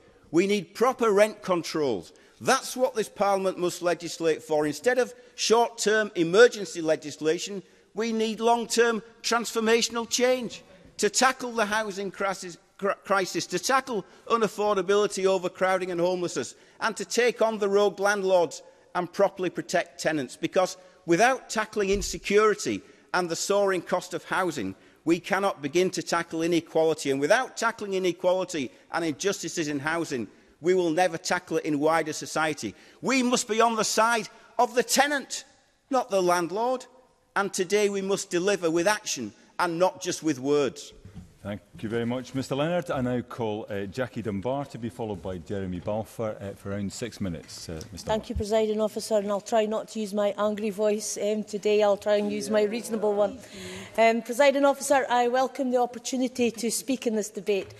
And while the Scottish Government doesn't have the power to prevent people's energy bills from soaring, it is right that it has taken action to ensure that their rent does not rise and that they are not evicted from their homes over winter.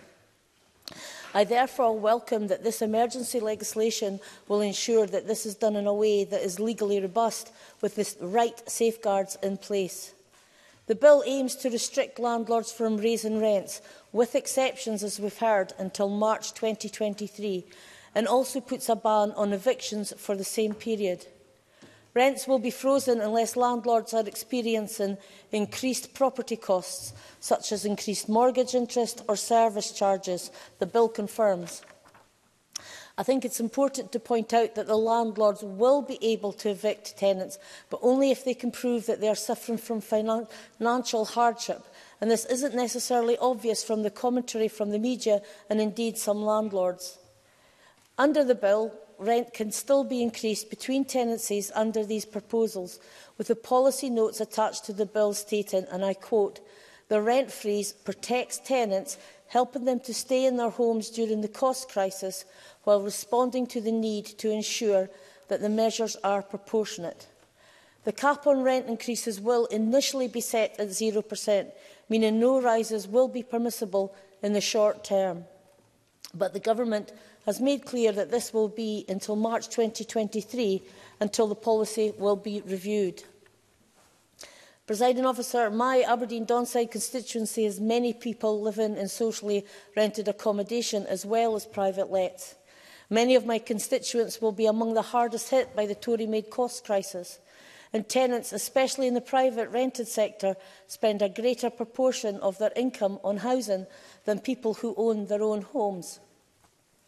People who rent have on average lower incomes and poorer energy standards. And recent research by the Joseph Rowntree Foundation found that almost a third of people who rent their homes in Scotland were already finding it difficult to pay their rent before the current cost crisis hit. We face the threat of a humanitarian emergency in every community across Scotland and it is the, the responsible move from the Scottish Government in the absence of the powers to act properly on energy bills to act through this emergency legislation which will protect the most vulnerable in our society. It is also worth noting that organisations who have welcomed this legislation, the Poverty Alliance said a rent freeze will help tenants across the country. Shelter Scotland has stated that short-term emergency measures in the programme for government are great news for tenants and will stop people from losing their homes. Shelter Scotland also told Parliament that any measures to ensure citizens have the access to the right to a home are very welcome in the context of the cost of living, though they wait to see the final detail. Living Rent said a rent freeze would have a massive impact as skyrocketing rents continue to pile on top of out-of-control energy bills.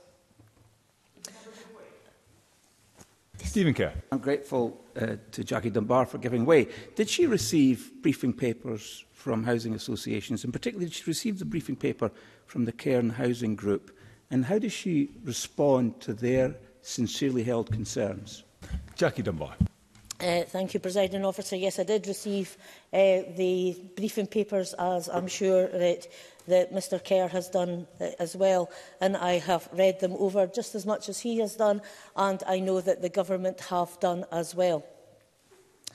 Um, and the Scottish Trade Unions uh, Congress has stated that the Scottish Government is to be commended for, for freezing rents.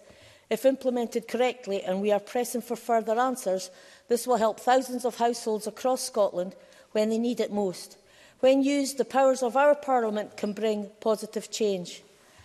These expert testimonies from the organisations on the front line of the cost crisis speak for themselves and show the absolute need for this bill. It remains essential that tenants continue to pay their rent and anyone struggling to do so should contact their landlord at the earliest possible opportunity. This legislation aims to freeze rents at an affordable level so that folk are able to continue paying their bills and not fall into arrears. Tenants and landlords who are willing to work together to address rent arrears can receive support from the Scottish Government and local authorities such as through the Tenant Grant Fund and discretionary housing payments. Indeed, I also welcome the Scottish Government's commitment to continue to engage with landlords as well as housing author authorities while this legislation is in place and up to March. Very quickly. Emma Harper, briefly. Thank you. I will be brief, presiding officer. I met with one of the chief execs of a local housing association in South Scotland yesterday, and they have concerns uh, over the impact of their, uh, the rent cap on future development and maintenance and support. But I understand that the plans for the housing authorities, are, as are already set,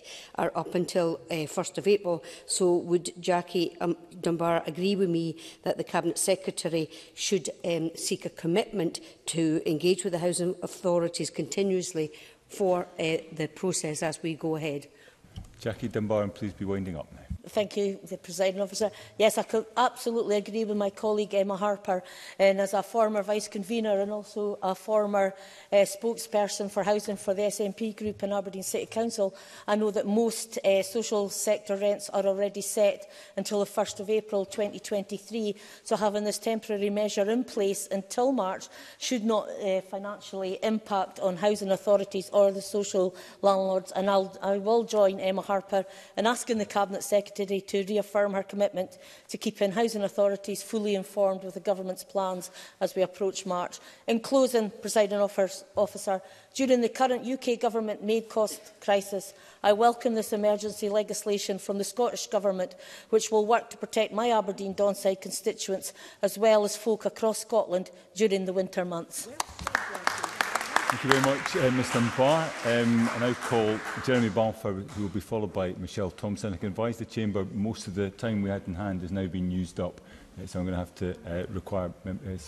speakers to stick to their uh, speaking allocations for around six minutes, Mr Balfour. Uh, thank you, Presiding Officer. The world is in a grip of an economic crisis, the likes of which we have not seen in a number of years. As a result of global factors, the people of this country are facing down an incredibly difficult winter and it is incumbent upon all governments to provide. However, President Officer, when governments are considering measures to implement, there must be due consideration given to the potential consequences out with the primary intent of the legislation. It is very rare that any action or piece of legislation has no consequence outside of the area that is directed to. In this vein, I have real reservations about the proposed rent control measures that the government is bringing forward today. Unintended consequences will lead to po policy promises that could be devastating, particularly to the people I represent here in Malovian. The Scottish Government is far from the first to have this idea. There's an example after example of rent control schemes that have been implemented only to be rolled back after the disastrous unintended effects manifested themselves. As others have mentioned, look at what happened in Germany. They were hailed as a policy that would fix every problem that the market couldn't. The same was said of the rent pressure zones that were introduced in Dublin. Both cases were supposed to ensure affordable rent for all, but instead they manufactured an extreme shortage of available properties to rent and drove many landlords from the market. The number of classified adverts for rental properties fell by half as a result of the measures in Berlin. And according to economist Jim Powers, the Irish rent pressure zones are causing, I quote, an exit of private landlords from the market and is reducing the supply of rental property and putting upward pressure on rents at a time when significant increases are required to satisfy demand, create a functional residential property market. President Officer, the definition of insanity is trying to do the same thing over and over, expecting different results. Jim Feely. I thank the member for taking the intervention. Does Member not recognise that this is actually temporary legislation to get over a cost of living crisis created by the government that he represents in Westminster? Jeremy Balfour. Well, the legislation that we are debating this afternoon within this Parliament gives the power of Scottish Government to extend this for 18 months. That's not temporary, according to me. Uh, no, I'm going to make, make progress, that's okay. It's not a controversial to point out that rent controls limit the stock in the rental market. It's been observed time after time, and it is a mystery why this government is expecting something different. And if price fixing wasn't enough, the proposed eviction from, from property will add even further uncertainty to the market. Removing the incentive for tenants to pay and landlords to regain their property throws up a litany of issues that I don't think the government has fought through. For one, there are costs associated with letting and property that are met by rental income that is paid. If a landlord cannot rely on a steady stream of rent, many will be unable to fulfil their financial obligations, such as repairs, and we will see properties going into even more worse um, repair. Additionally, some landlords, again here a lot in, in Edinburgh and Lothians, rely on regular rent to pay the mortgage, especially for those with a buy to let mortgage. A halt to income could cause the property to be repossessed, which would result in the tenant likely being evicted as well. If the government had thought through the situation, I'm sure, as they would appreciate, they need to bring something different to the table. The other group that are going to be deeply affected by this is housing associations. Banks lend association money with rental income acting as a guarantee against the debt. If the income becomes unsustainable, it is likely they will remove that incentive because suddenly the bank will refuse to lend the money. Yeah. This will bring again another pressure to the sector and we will see the market in regard to rental property simply collapsing. And this is not just me saying this, presiding officer. We even had representations today from COSLA, not necessarily in favour of everything we on this side do. But they have said, they've said this is a pal grab by the Scottish Government. They don't, they've said that this is taken away from localism at any level. They're saying that why should local authorities not be sent in rents rather than central government? Setting rent caps and freezers and a national level strips local government of its power. Its ability to set rent for local associations, I'm in my last 30 seconds, unfortunately. And with no consultation with the sector, we are going to end up with more people being homeless over these next few months. This is a fundamentally wrong policy. It will end up with people being in a worse place and we will see more people selling their properties simply to be able to meet their own rising costs. Thank you. Thank you, Mr Balfour. I now call Michelle Thompson to be followed by Carol Morgan. Up to six minutes, please, Ms Thompson. Presiding officer, I refer you to my register of interest that states I rent some property out. Now, I consider it unethical to speak on issues where it could be construed that I'm attempting to influence the Scottish Government in my own interest, and as such, the speech will make no reference to the buy-to-let market. I will, however, make some remarks on the broader housing market. Fundamentally, the Scottish Government is seeking to do the right thing, but they're subjected to limitations. The first is adequate powers. The government's job, above all else, is to protect Scottish citizens, and there's nothing more fundamental than a roof over your head. However, without an appropriate basket of powers, including borrowing, the Scottish Government is heavily constrained. The second is a macroeconomic context. The Scottish Parliament has no monetary policy powers and very limited fiscal powers. That is why the Scottish people are facing the full brunt of Tory economic incompetence rising food inflation, rising mortgage costs, and the recent, quite frankly, disastrous fiscal event by the latest Tory Chancellor and Prime Minister all call for action. So the willingness of the Scottish Government to take action is to be commended. Yet I sound a note, and I'll, I'll carry on just now because I'm changing theme. Yet I sound a note of caution and quote from Susan Actimel of Homes for Good. She notes in LinkedIn, The Scottish Government seems to be legislating against new housing supply in the midst of a housing crisis. Now, these remarks go to the heart of the very difficult balancing act that the Scottish Government must undertake. How do they take action to protect tenants without cooling the underlying supply of housing? So I'd like to open some areas for discussion. The mood music for institutional professionals in the housing market must be right. They must know that Scotland is open for business and that their long-term investment plans can proceed. Pension schemes in particular, with their long-term focus on patient capital, must be considered. I would highlight the build to rent model, which offer a route for Scotland to get to the scale of housing required against a backdrop of undersupply and overdemand. I reference the Scottish Property, sorry,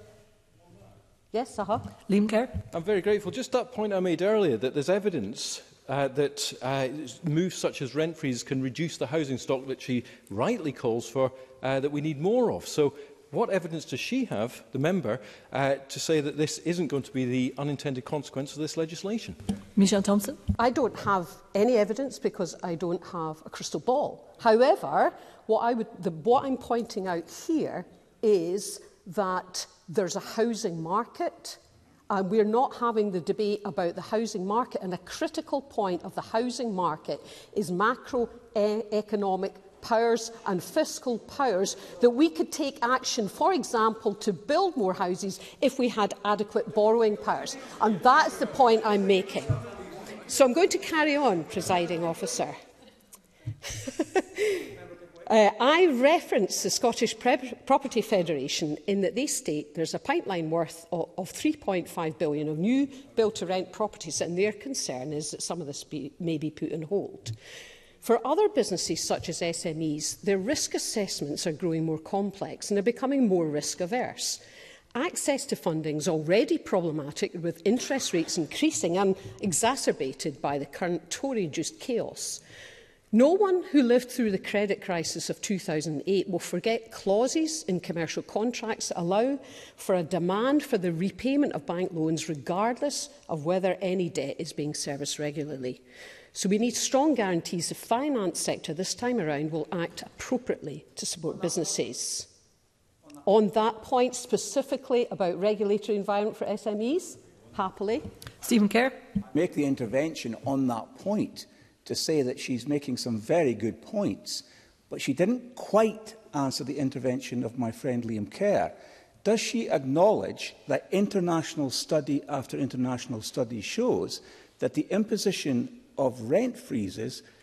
creates constrictions in the supply of available property for the homeless? Michelle Thompson. What I would acknowledge is that restriction of supply can have an impact That is true. And what I'm making clear here is that it's very complex. Now, if, you really, if the member really cared about the housing market, and indeed the member over there, you would be calling for increasing borrowing powers for the Scottish Government to build more houses. You would be increasing the calls for a uh, more macroeconomic powers for the Scottish Parliament so that we can take further action. That is the point I'm making. You want us to sit passively and with and leave these matters to the Tory government in London. We see where that's ended up. Anyway, sorry, presiding officer. It's worth noting all these economic factors and many more uh, I haven't mentioned are out with the control of the Scottish Parliament and the Scottish Government, adding emphasis to my opening remarks. House providers are nervous because of uncertainty And the vast majority of that uncertainty is because of macroeconomic policies set in Westminster. Any initiatives must look at the overarching housing sector in the round. So I would like to ask the Minister what specific assessment has been made to the availability of housing supply because of these proposed changes. And will there be checkpoints on supply against demand? These are difficult times. With strictly limited powers, it's hugely difficult to both extend tenant protections and ensure the optimum environment for investment in new housing. The UK government's used the property market to give the illusion of wealth M and growth. Ms Thompson, leading, you are over your time. Could okay, you bring your answer, lead it, Last sentence. Uh, leading to a bloated asset class. Despite the complexity I've outlined, the Scottish Government fundamentally has a duty of care to citizens And for that reason, I absolutely stand by this legislation. Thank you, Ms Thompson. I now call Cara Mochan to be followed by Emma Roddick. Up to six minutes, please, Ms Mochan.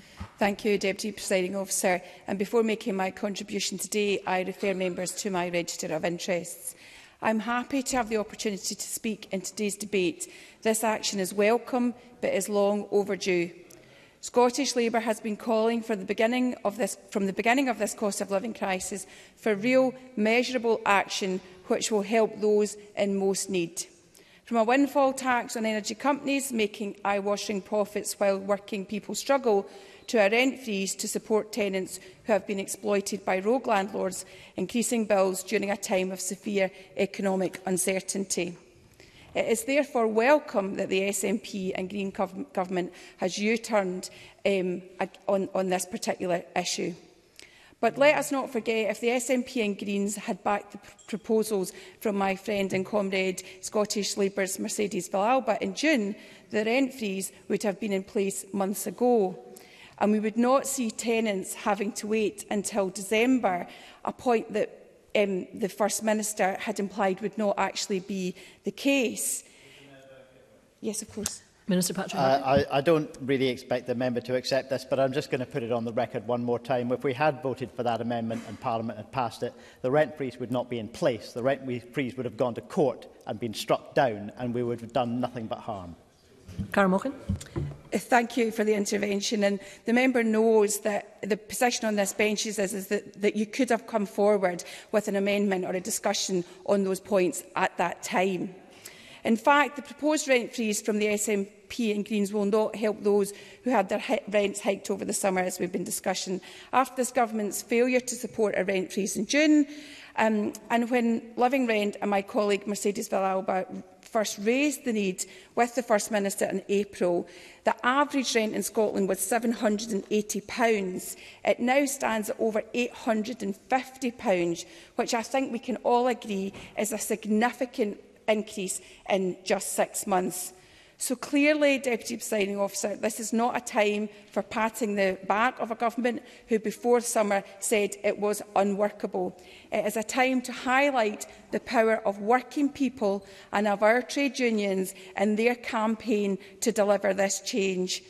action and empty promises were never going to be enough during a cost of living crisis, and I am pleased that the Scottish Government has come to this realisation. Deputy Presiding Officer, I do agree with the Scottish Government in that this cost of living crisis is a result of years of irresponsible Tory economic policy, of austerity, of cutting taxes from the rich and increasing costs for the workers. However we, however, we do have powers to mitigate in Scotland and we do have powers in social security and through local councils to improve, ser improve service delivery for those most in need. It is often suggested in this Parliament that there is only one way out of this mess. In fact, presiding officer, what the last weeks, months and even years have shown is that Scotland have two governments often set on dividing communities. But the fact that people power brought, has brought about this change of heart in this government today highlights that the people of this country want to unite around policies that will improve their lives and set a brighter future for the next generation. As highlighted in this cha chamber today, tenants and tenants' organisations are knowledgeable enough to come to us here in this Parliament and give us sound advice that we should listen to the people of Scotland. Miles Briggs full for the member for taking this intervention. I'm not sure from the Labour Party, Party whether or not when they envisage this rent control, they envisage the social rental sector being such an integral part of it. Can I therefore ask whether or not members would be voting to remove them from this, given all the unintended consequences which they are raising with elected members? Karen Malkin. Thank you for the intervention. The member will know from my colleague Mark that we have uh, amendments um, and, um, that we're going to bring forward around this issue, but that we do do know that we are secure until the end of uh, this financial year, um, and we're happy to debate that again tomorrow in the Chamber. Um, the introduction of this legislation is a welcome step forward. But as mentioned previously, it will not help all tenants and it's by no means a long-term solution to the challenges Scotland face with regards to, to the housing uh, market. Scotland's council are being starved of funding from this government um, and from the Tories in Westminster. And in recent years, Labour and local government have been delivering nation-leading house-building programmes despite these cuts. Essential work. Programmes that are proud once again to be council housing, knowing that, it it, that this provides stability and security in the most uncertain of terms. As was mentioned by the member from Carrick-Cumnock and Doon Valley, a home is more than bricks and water. This is why we must challenge the balance between landlords and tenants, as my colleague Richard Leonard eh, mentioned in his contribution. I do hope the Scottish Government realises the short-term nature of the plans set out in this legislation and call on them to invest in our councils to ensure they have adequate funding to build the required quantity and quality of houses needed in Scotland today. Furthermore, I hope the Minister listens to calls to ensure that the rent freeze remains in place until a national system of rent controls comes into effect. We know we can be bolder, we know we can go further, and I call on the Scottish Government to show that ambition. In concluding, presiding officer, I pay credit to my colleague Mercedes Villalba, tenants' organisations such as Living Rent and the trade union movement for the relentless campaigning to force this U-turn. It's a welcome step, one that we know we, we, it will make a positive short-term effect. But Scotland is in desperate need of, ref of reformed housing policy that delivers first and foremost for our working population. Today is a step forward, but there now is room um, for us to go forward and I reaffirm my party's support of the principle of this bill and I highlight once again our commitment to delivering a long-term housing strategy that meets the needs of our populations. Thank you, Deputy Presiding Officer. Thank you, Ms Mockin. I now call Emma Roddick to be followed by Ariane Burgess. Up to six minutes, please, Ms Roddick.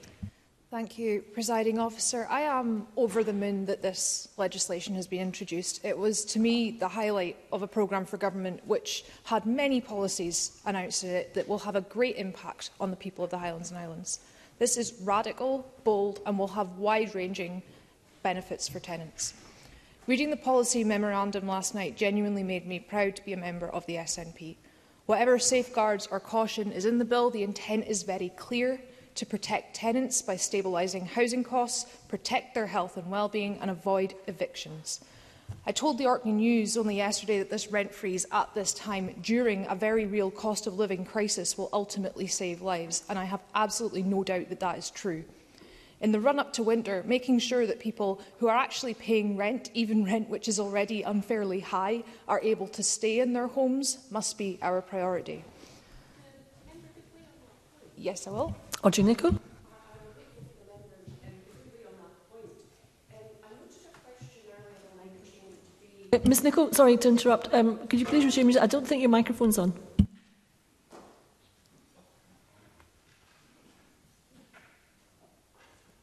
Apologies, presiding officer.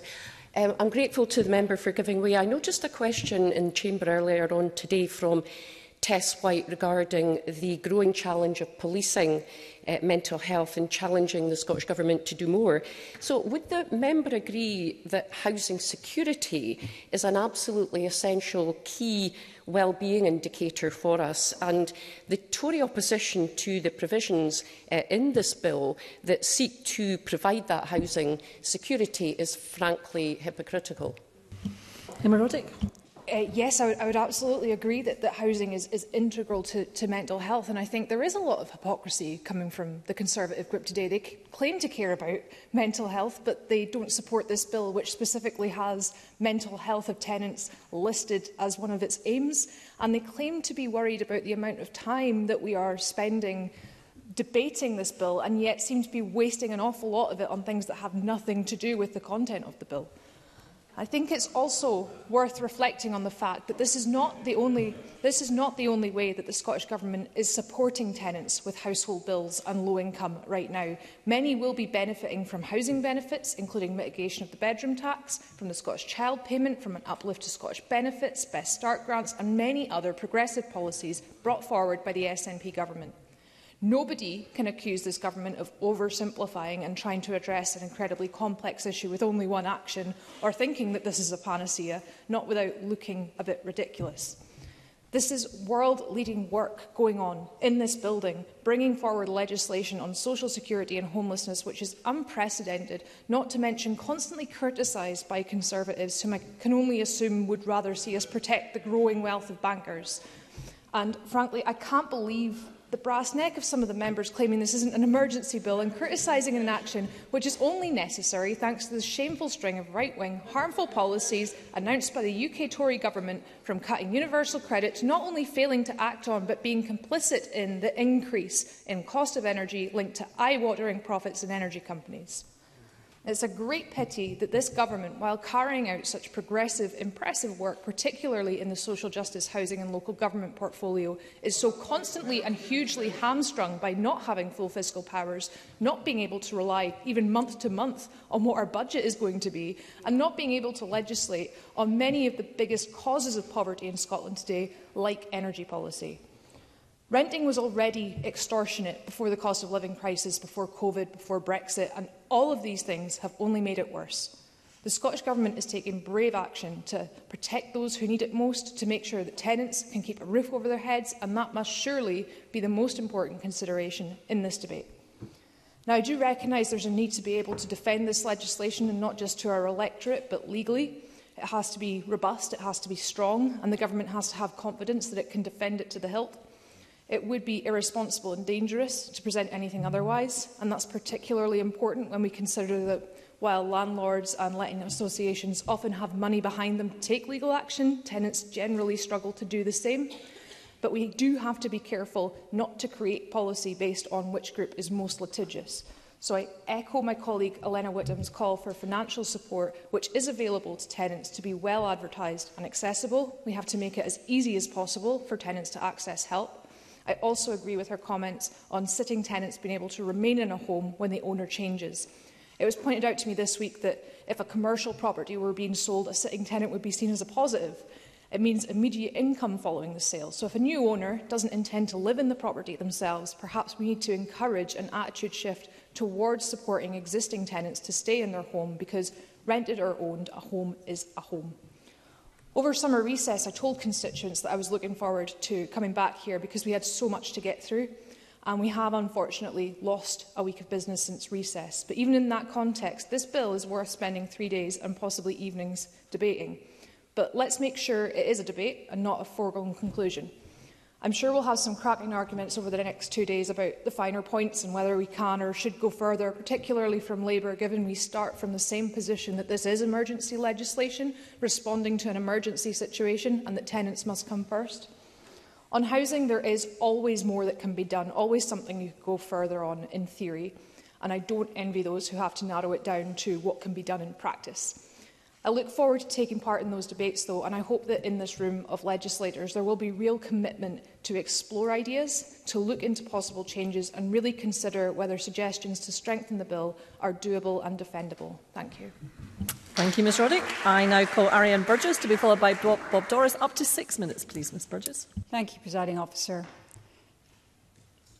This will be a crucial week for tenants across Scotland. We are living through the worst cost crisis for generations – with inflation soaring and bills skyrocketing. One of the biggest expenses people have is housing, which is why this emergency legislation is so important. It provides immediate support to tenants at the sharp end of the crisis this winter. I welcome this bill. It will implement a cap on rents at 0% and significantly ramp up protections from evictions within tenancies until at least the 31st of March 2023. It will create a new system to make it easier for tenants to challenge unlawful evictions and bring in tougher sanctions for landlords.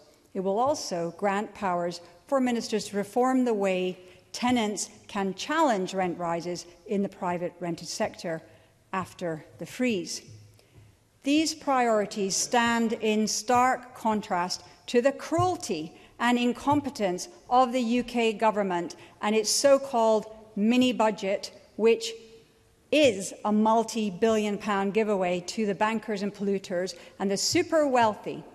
And it is part, this, this bill, is part of a bigger whole.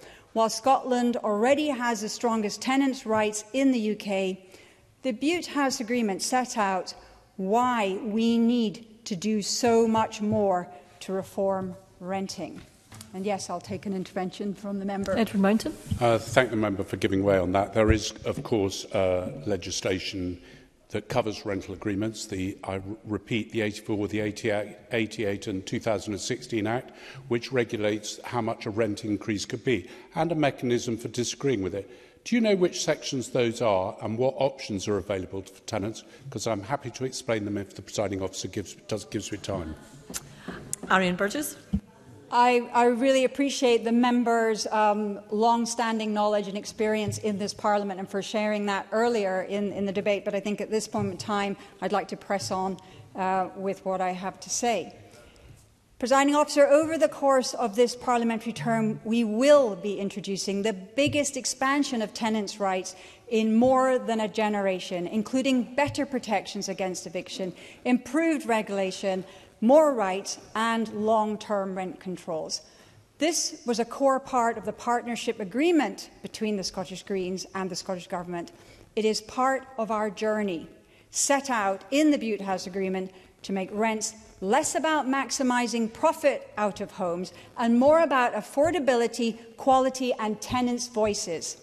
That vital work continues and it will contribute to the biggest package of housing sector reform since devolution. Presiding officer, too often renting in Scotland is expensive and insecure. Too many tenants pay extortionate amounts to live in damp, cold, and overcrowded homes. No home can be left behind if we are to build a recovery that works for people and communities. In the region that I represent, the Highlands and Islands, the need for affordable I'm, I'm going to continue. Thank you. Um, in the region I represent, the Highlands and Islands, the need for affordable, accessible, and adequate homes continues to be pressing. Many people struggle to find a home where they want to live, and if they do, they face unaffordable rents. The deepening cost crisis has left few people unscathed, but many people who rent their homes will be even more vulnerable to the harsh winter ahead. If the UK government will not act as it should, the Scottish Government should do all that it can.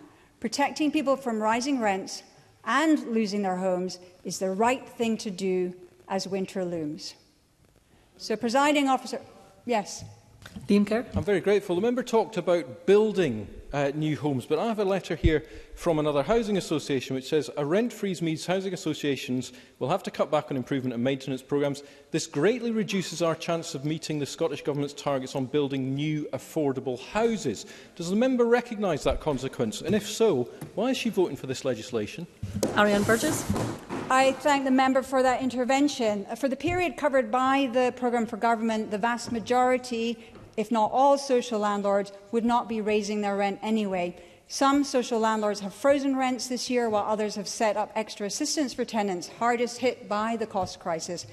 Patrick Harvey, in his role as Minister for Tenants' Rights, has committed to working closely, and I heard that this morning at committee, with social landlords if measures are extended beyond March to ensure that there is no adverse impact on long-term plans for more social housing.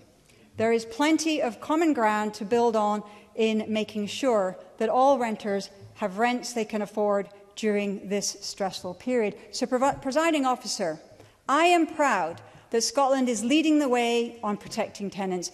No other part of the UK is proposing anything close to the Scottish Government's ambition on protecting tenants. It is part of our journey to join the norm in other European countries where regulation of rents is built into the way housing works.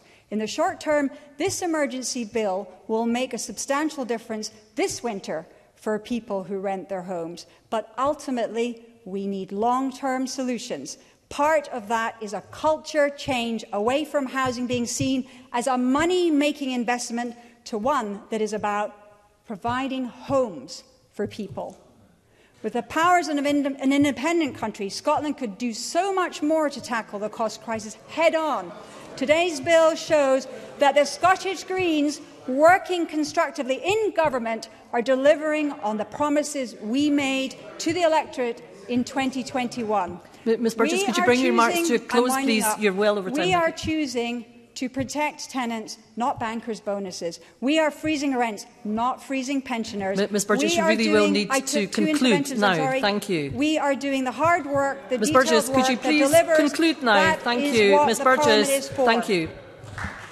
Uh, I now call Bob Doris to be followed by Graham Simpson. Up to six minutes, please, Mr Doris. Thank you very much, Presiding Officer. And I speak in support of this emergency legislation which will secure uh, a number of welcome and essential provisions, mainly, as we've heard this afternoon, a six-month rent freeze for tenants across 10 years and a similar ban on evictions across 10 years for the same period of time. It will be a welcome and valuable measure for many hard-pressed tenants right across Scotland, including in my constituency of Maryhill and Springburn. It will give certainty, stability and support for many for the next six months, something that will be very welcome given, if we're very honest about it, a cost of living crisis fuelled by a Westminster government that has been complicit in that cost of living crisis due to its reluctance to regulate and tax the energy sector, its keenness to cut budgets, certainly in this place, and herald in austerity, and its denial to acknowledge the need to go further in public sector pay awards right across the boards. And of course, that's before we look at the cack-handed approach of Liz Truss and quasi-quartang of the last couple of weeks. That's the context that we debate this emergency legislation in. I think the legislation is a measured approach. There are reasonable caveats built in as to when it may be appropriate to trigger a rent increase or move for eviction during that six-month period.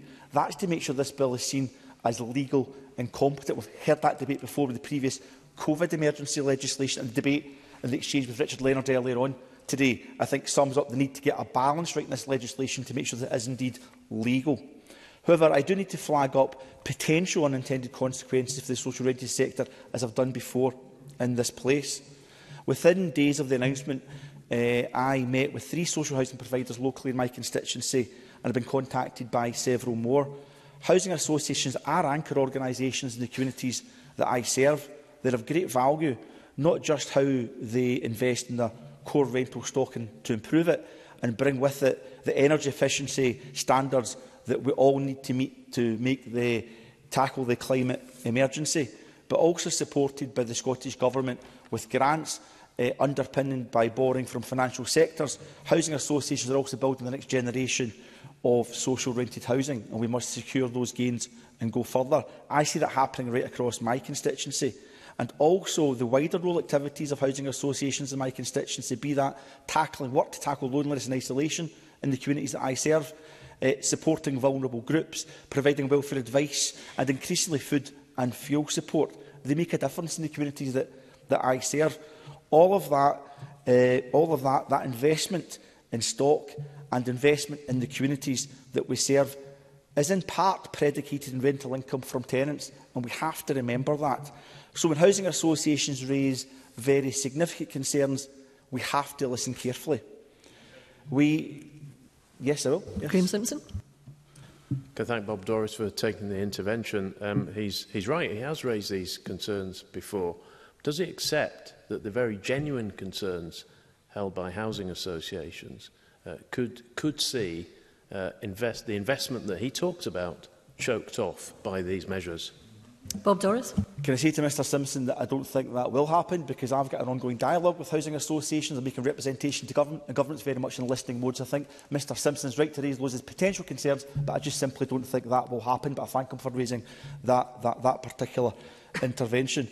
Um, so I've, I've made clear what I think is the important situation and that important role that housing associations play in the constituency, which I have said. And we've heard already this afternoon how, how, how, how housing associations plan their finances over 10 years, 20 years, a 25-year period, and they are sensitive to year-on-year -year variations in their predicated rental incomes, including whether there's constraints and the ability to, to raise rents. And we have to be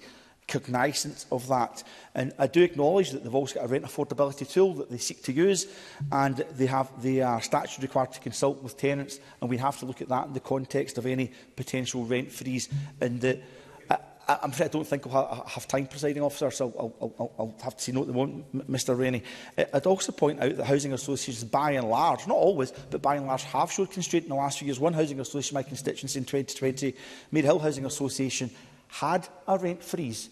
Now, that has consequences for their finances over a period of time, but they found a way of having a rent freeze in 2020. Housing associations make different decisions at different times, different pacing and a different trajectory of rent increases across different social landlords over the years depending on their investment priorities and the pacing of that, that investment. So when we talk about a, a rent freeze going forward, we should be cognizant that we're talking about a rent cap at 0%.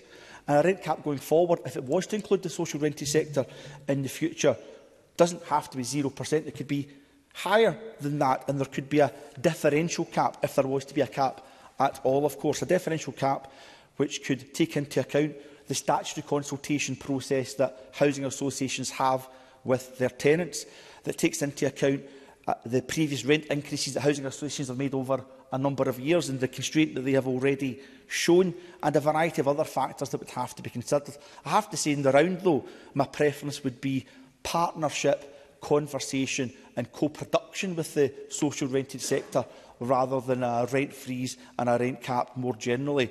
But we are in unprecedented times, presiding officer. We have to think of every way that we can stand there to support the most vulnerable in society. And that means we have to think about rent freezes across all tenures. I hope it doesn't happen in the social rented sector. I've put on the record what the potential unintended consequences are. We must keep working in dialogue with them, presiding officer. Thank you, Mr Doris. I now call Graham Simpson to be followed by Michael Mara. Up to six minutes, please, Mr Simpson. Thank you very much, Deputy Presiding Officer. Um, this bill is a disgrace. Yeah, yeah. This is not the way to do legislation. Emergency legislation should be an exception, reserved for wartime or a pandemic, or to make quick updates to law when needed. This does not qualify. This is a complex policy area You can't rush this sort of thing. Now, I convene the cross-party group on housing, and we've produced a report on rent controls, which took months to do and was meant to help the discussion around this issue.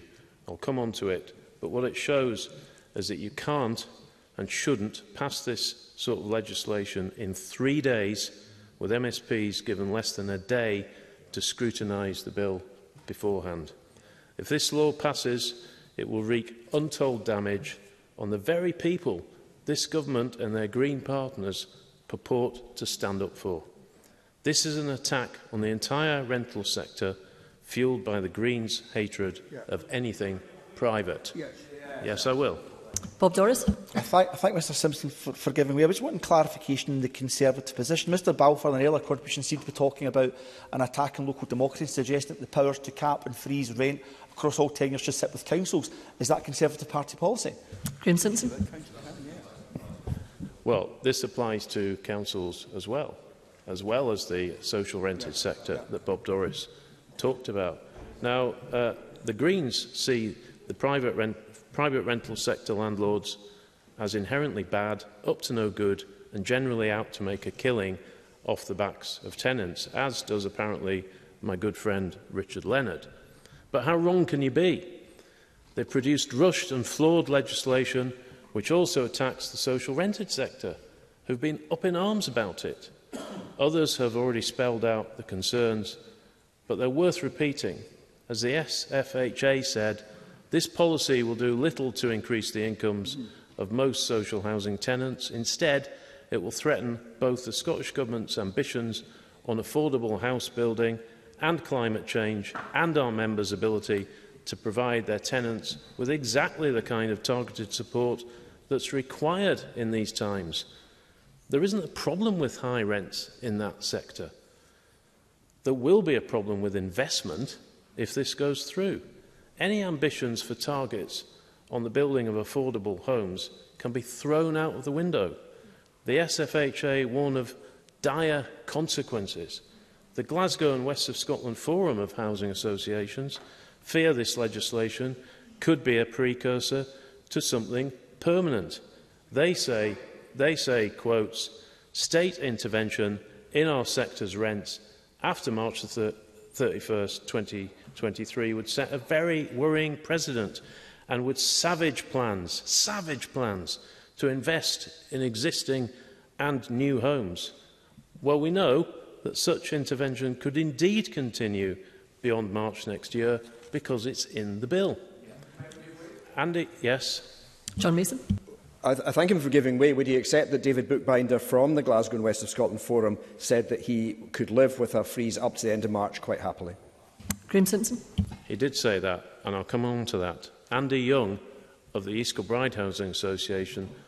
told me this has united the sector like never before and will make the delivery of net zero impossible. Mm.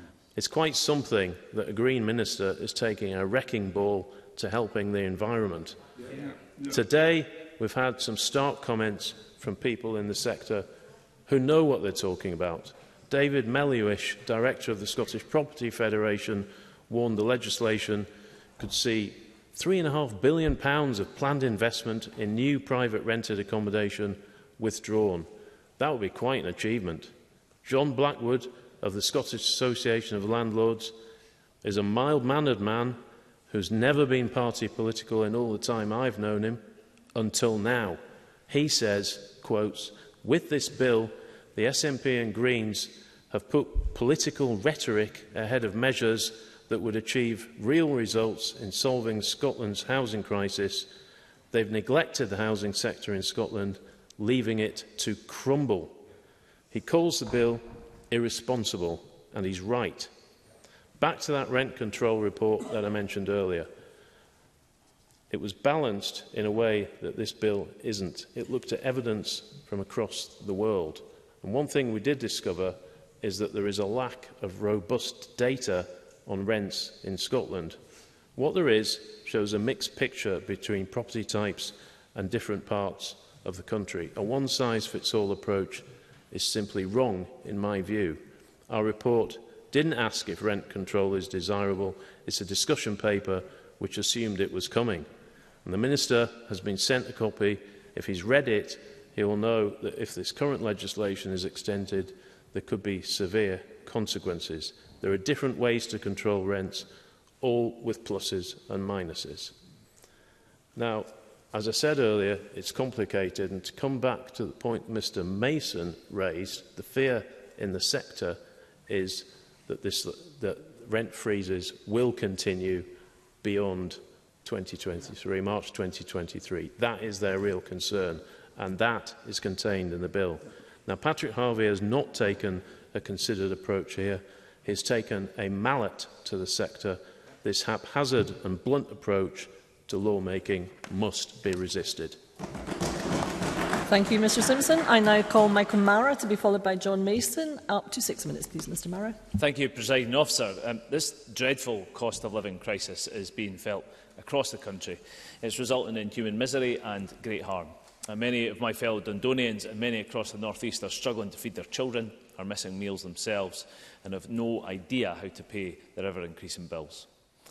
paying the rent accounts for a huge slice of a family's income, and Parliament must intervene at this moment of crisis. We are right to do so.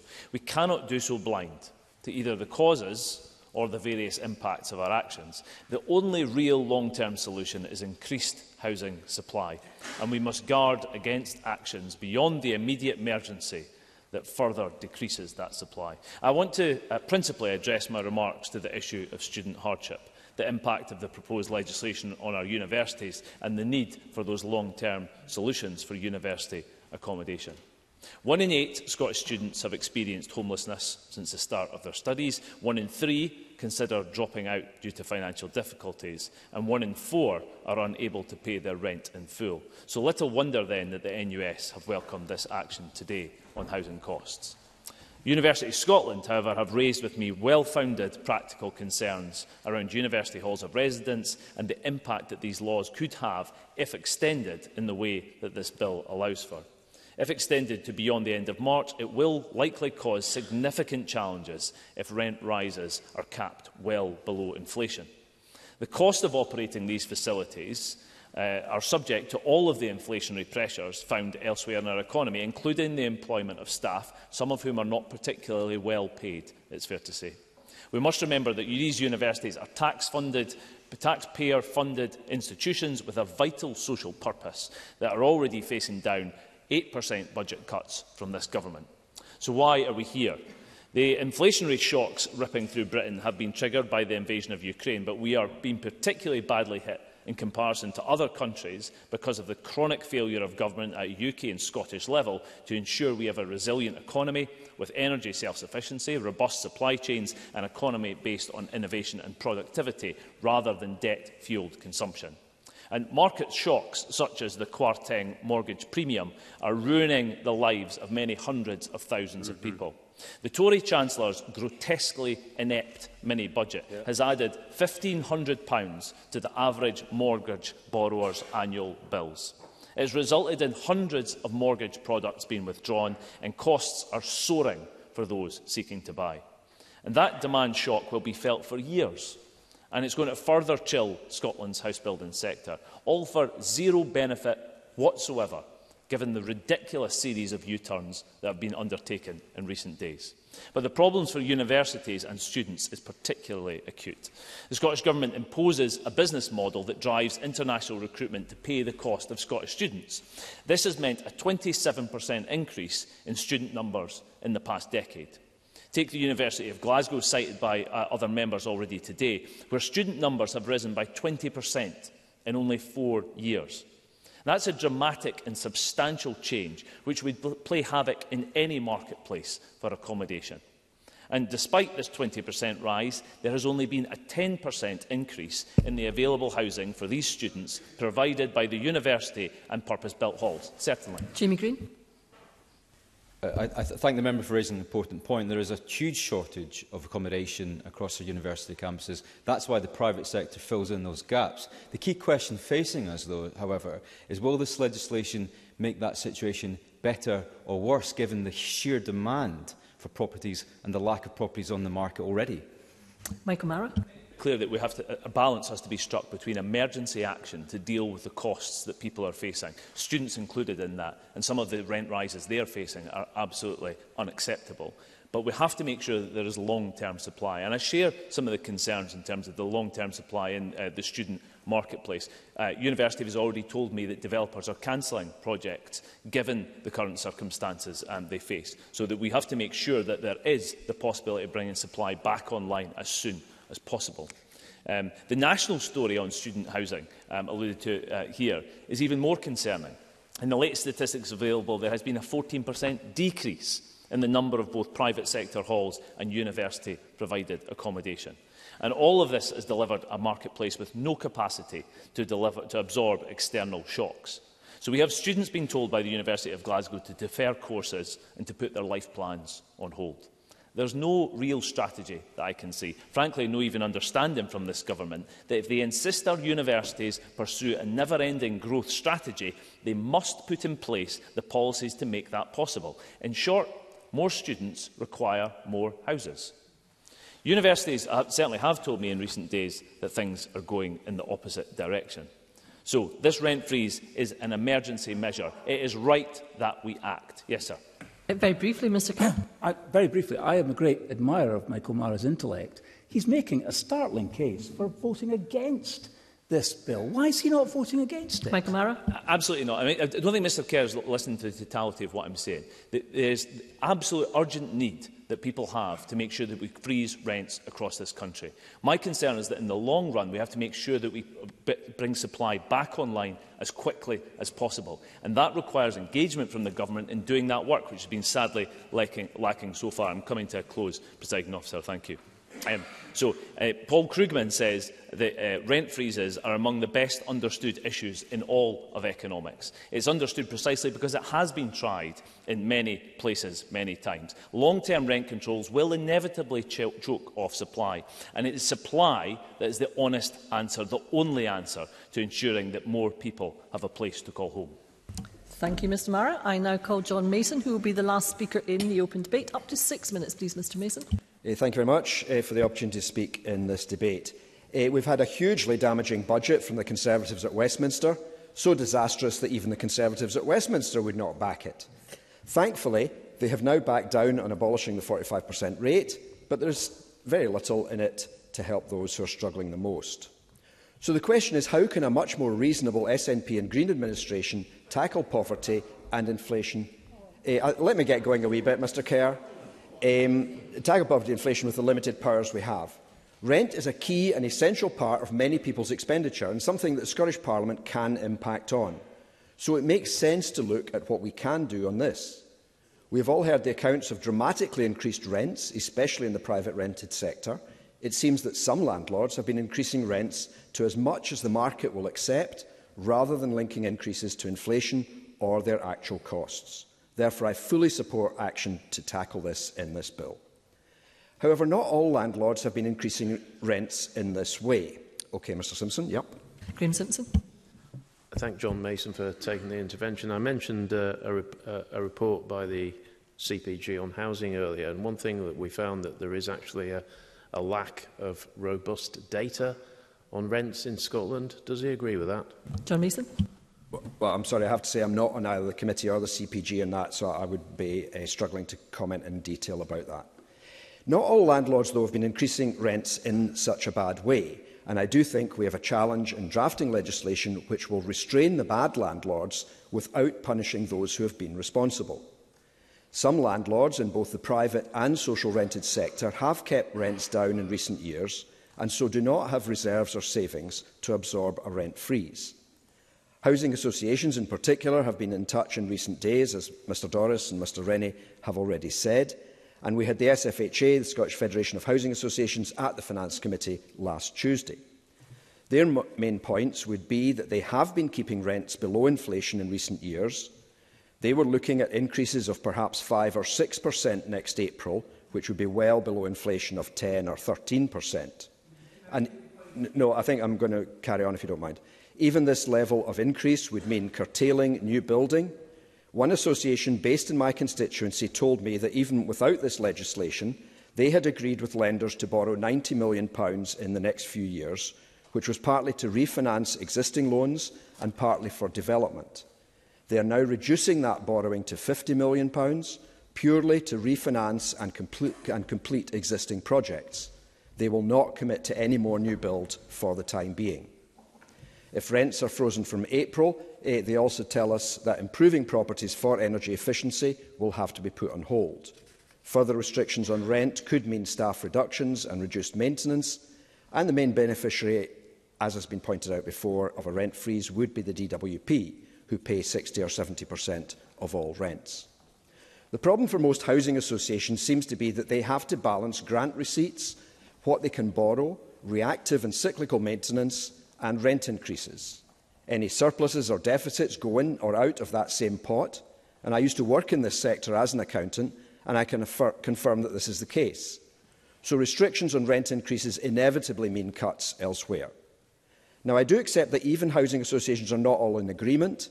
Members may have seen that Parkhead Housing Association, which is in my constituency, had a letter in the Herald yesterday arguing that they could and should uh, have a, a freeze up to a year or maybe even more but I think they would want to be allowed to catch up again in the future. Uh, but I don't think that's the thinking of the majority. And I noted in the financial memorandum for the bill at paragraph 37 that it's accepted that if the freeze goes beyond 31st March, the Scottish Government may be required to provide resources to protect RSLs whose financial viability is threatened due to a loss of rental income.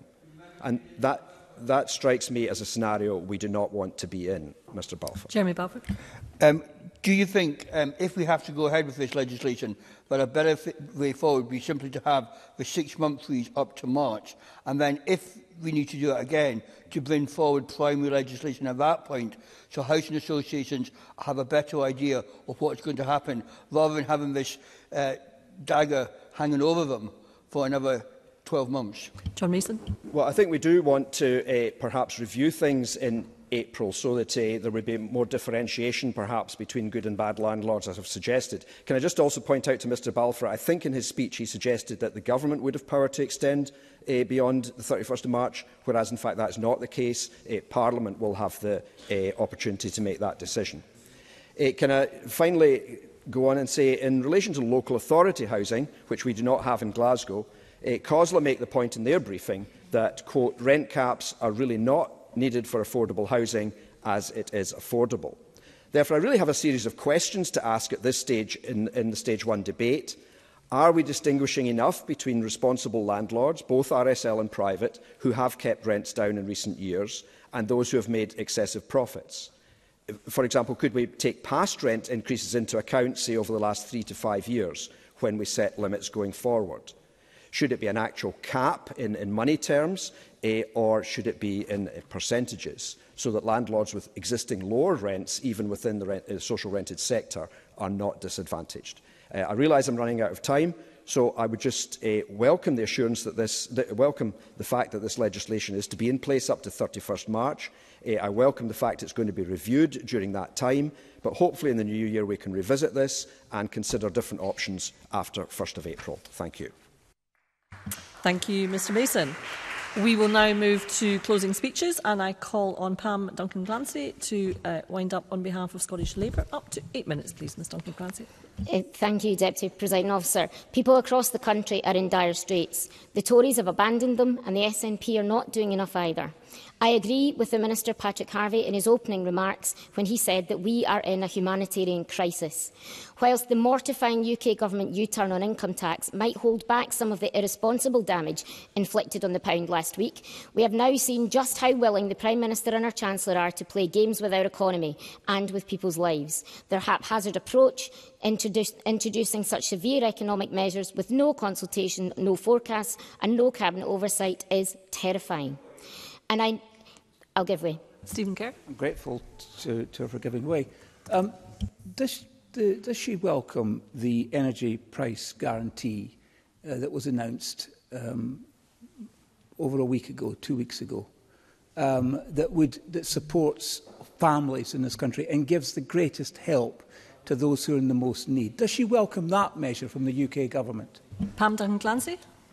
I welcome any measure, but I think it's been wiped out largely by what they've done in recent weeks. Um, I, I know that... I, I know that the SNP agree with us on the, the recklessness that the Tories have wreaked with our economy, and Paul McLennan certainly made that clear. Which is why I can't help but wish they hadn't squandered opportunities to take action on rent years ago when my colleague, my colleague Polly McNeill suggested they do. It's also why I wish they hadn't um, more they had in more recently in March copied the Tory scattergun cost of living mitigations and in so doing missed an opportunity to divert support to those who needed it most. Instead, they too lined the pockets of the wealthy while failing to do anything specific for disabled people and unpaid carers and barely scratching the surface for low-income families. Meanwhile, these Labour benches were writing them a fully cost of living plan, set out how to do just that, using a targeted approach rather than spreading the money so thin its impact was diminished for those feeling the heaviest weight of this crisis. That plan, of course, included a temporary rent freeze and a winter evictions ban. My colleague, Mercedes, Mercedes Villalba, put forward a vote on, ex on exactly that back in June, and the SNP and Greens refused to vote with us. So today and on this occasion, I am pleased that they listened to us, to, li to Living Rent and to the trade unions, shared the Tory penchant for a U-turn and came round to the idea. But I stress to the Government and, as the Chamber has already heard in some grim detail from my colleague Mark Mark Griffin, there are real-life impacts of its delay. In the time since we urged the government to take action, rents are already rising, as my colleague Carol Mochin has set out clearly. My inbox is filled with constituents in Glasgow unable to afford a roof over their heads, particularly disabled people, young people and students, and my colleague Michael Mara has set out eloquently the challenges students are facing and that must be addressed. And more families are finding themselves homeless than ever before, with homelessness amongst children increasing by 17% last, since last year. Delays have consequences and brave governments take action without delay. Many are facing rent increases enforced over the summer months as landlords responded to the cost of living crisis faster than this Scottish Government did. A rent freeze now is too late for them. Had the Government listened to Mercedes Villalba in June, or indeed my colleague Polly McNeill in the last session, they would not be experiencing these increases. It's not just delays that have consequences either. The lack of ambition and scale of change of the Greens and SNP do too. Richard Leonard set these out perfectly angrily today. And I have to say, I was disappointed to hear the Minister's response. I'm old enough to remember when the member would have been squarely on the side of tenants. Presiding officer, like others, I too would like reassurance on some of the wider impacts of this bill and would specifically welcome the government's reassurance that the bill will not impact the social housing programme and that social housing landlords will not face a black hole of costs to make essential improvements to their homes if the freeze is extended. And on this point,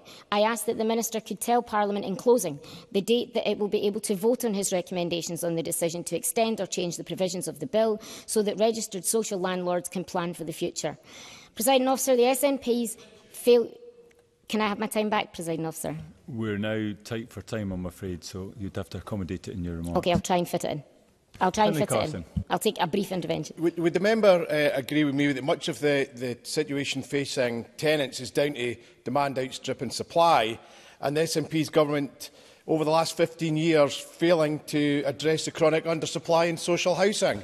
Pam Duncan Glancy. I I, I agree that, that demand, um, the demand is outstripping supply and that there hasn't been enough on, uh, done on that, but that doesn't address the problem right here, right now. Presiding officer, the SNP's failure to act fast enough on rents was a failure to protect my Glasgow constituents and others across Scotland. But it's not just on pace they've let them down. They have also let them down on scale, as I've said. We heard today, and not for the first time, that the SNP and Greens have put £3 billion into the cost of living crisis. They have not, and we must say this. This figure includes actions from years and years ago, some of which the the Labour government legislated for. The actual figure of cost of living interventions from the SNP Green government, according to Spice, is a sixth of that, at closer to 500 million. Now, that is welcome, but I'd ask that the government don't overinflate action whilst families can't feed their children. All that does is mask reality and lead to complacency. Scottish Labour have set out a whole platform of ideas for this government to pick from that they could up the scale of the support they offer. But sadly, they have an inevitable pattern of shouting these down. Cabinet secretaries say they welcome ideas from across the chamber but don't act on them. So maybe this bill is a turning point here. And if so, I'd like to seize the opportunity and invite them to consider our suggestions for further action. The government could make transport more affordable, having rail fares and freezing them for a year, creating online fuel price checkers and supporting local authorities to reduce the cost of the the school of bus journeys. The Scottish Government could also not only save people money on crucial outgoings like transport and get, by giving households a rebate on their water bills, but it could also help people get out of problem debt. Debt that people are now taking on just to afford basic essentials, not for TVs or holidays, for food, and rent. And I hope the government will consider action on debt in short order. When the Social Justice and Social Security Committee carried out our inquiry, we heard the public authorities often aggressively pursue debt. So there is much the government can do on this, including by ensuring people in debt keep more of their money by raising the threshold of protected income and have funds from care or disability benefits protected. Not doing so risks destitution. Action should also be taken to write off school meal debt. Aberlour found that 11,000 families across Scotland are unable to pay for their children's school meals. Labour-led Scottish Lanarkshire Council have already set a gold standard on this by wiping existing school meal debt, providing relief to my constituents in Rutherglen. The government could and should do the same across Scotland. In addition, presiding officer, £250 million of council tax debt was referred to sheriff officers in 2021. If the SNP had kept the promise they first entered government on that to abolish council tax, that debt wouldn't exist. However, it does, and right now it's is crippling people who are struggling. So we believe that the government should consider what more it can do to ease the burden of collection of council tax arrears too. After a pandemic and now a cost of living crisis, having come from the back foot position from before, people are pushed to their limits. They need support, which is why it's essential to properly fund money advice services too. These services are stretched to their limit and we need to make sure they have resources they need to keep providing their lifeline services to anyone who turns to them. And I welcome the aim in the bill to address the health and wellbeing impacts of unaffordable rent rises and ask that the government set out in closing what they will do to support third sector organisations to help people. So, presiding officer, Scottish Labour, as the original proponents of the, reg the rent freeze, will support this bill this week, but believe there is far more this government must do to address the cost of living in Scotland. We on these benches have simple, cost-effective, effective solutions in front of us to do this, and I hope the government will consider these wider actions, not leave a delay like they did on rent freezes, and set in motion the wider scale action needed to get people through this cost of living crisis and ultimately save lives in Scotland. Thank you.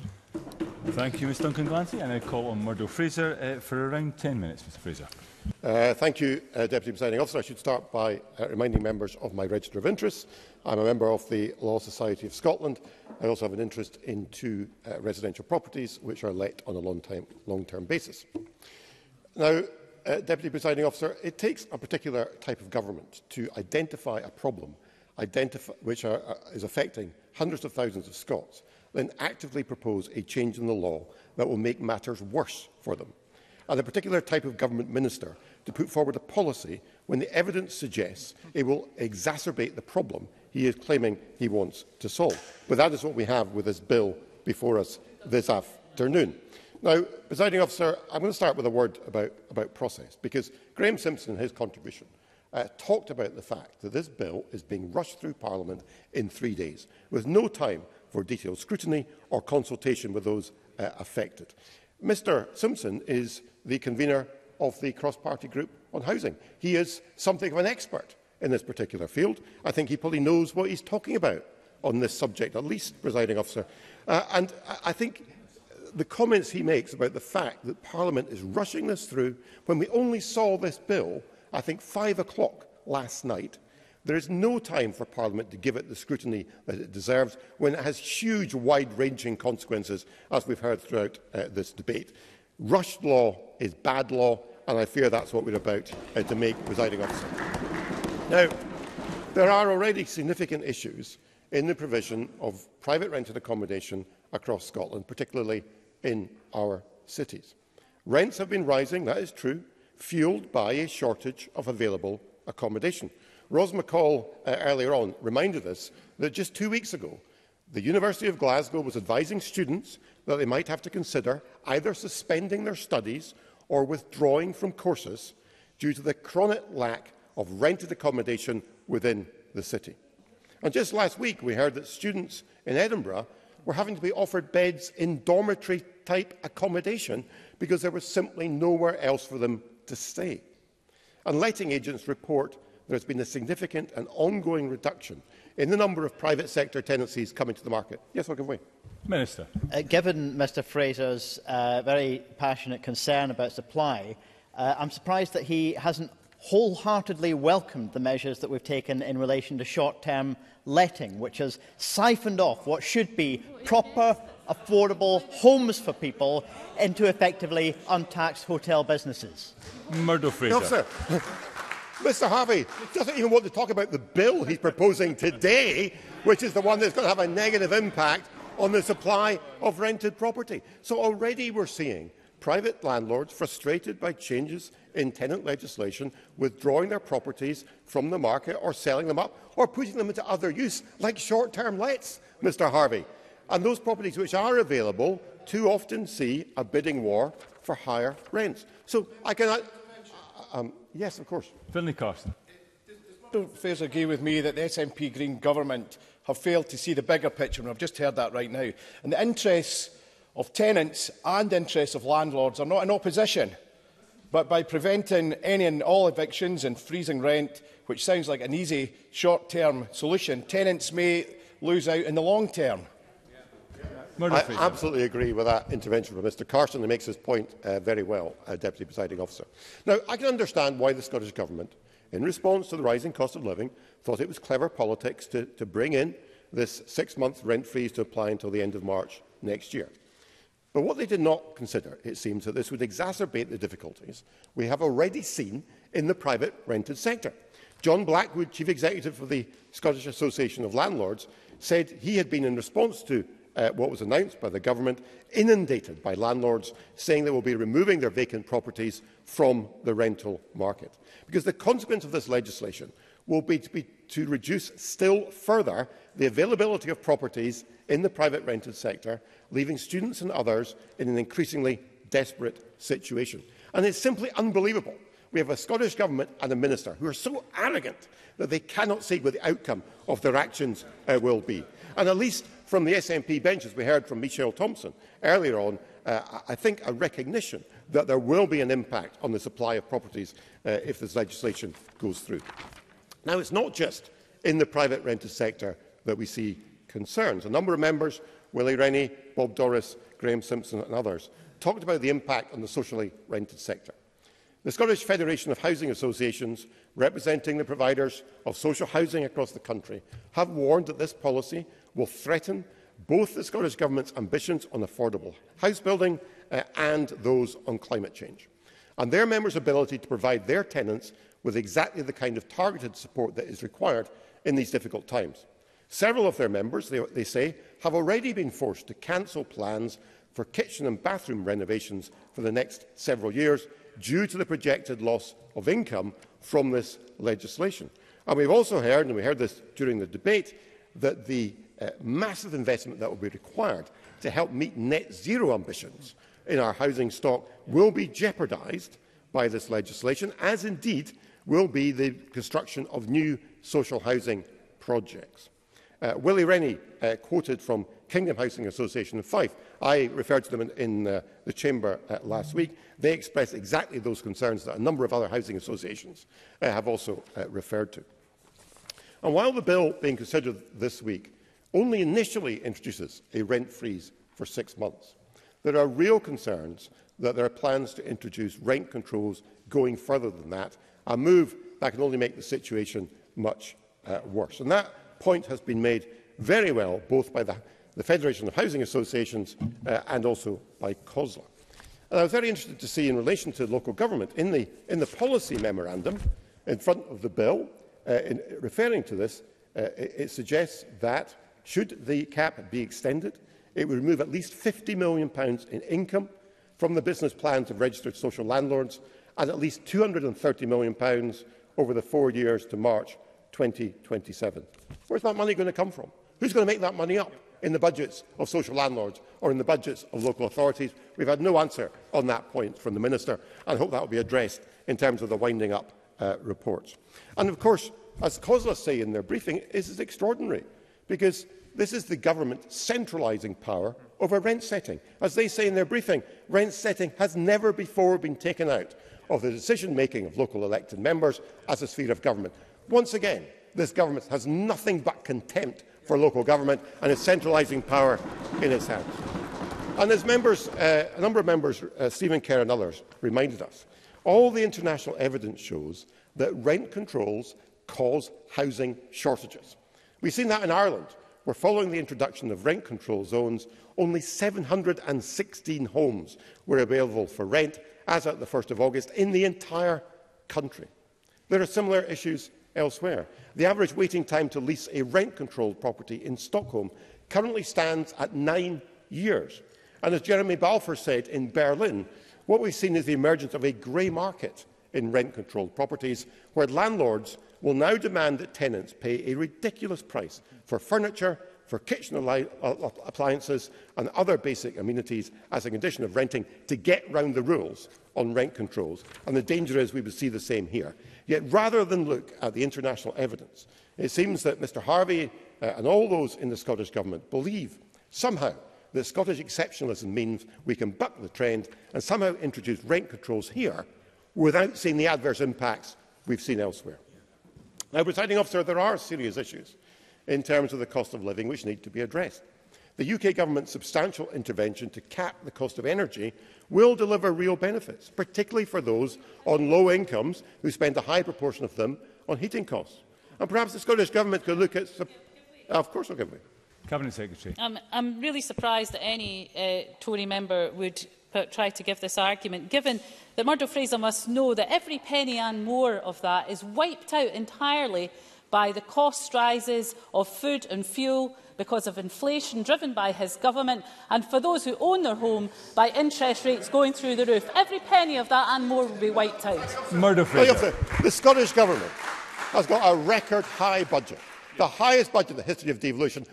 What are they doing to help those with the cost of living? They are making matters worse uh, presiding officer. So perhaps the Scottish Government could look at supporting tenants with helping to pay rents rather than bring in a rent freeze. And they claim presiding officer to be supporting landlords who are facing additional costs. This is a fig leaf. Landlords are, are allowed, in the event that costs and mortgages go up, to, to increase rents by just 3% more. 3% presiding officer. If interest rates do go up, as the Cabinet Secretary suggested, it might go up much more than that. Landlords will be left out of pocket as a result. So once again, we see, presiding officer, an SNP, SNP Green Scottish Government not listening to those in the sector, not listening to those representing letting agents and private landlords, not listening to local authorities, not listening to those in the social rented sector, railroading through Parliament an emergency piece of legislation without proper scope for scrutiny and amendment and failing to properly consider what the unintended consequences will be. I fear Patrick Harvey's legacy as a result of this bill will be to drive up homelessness in Scotland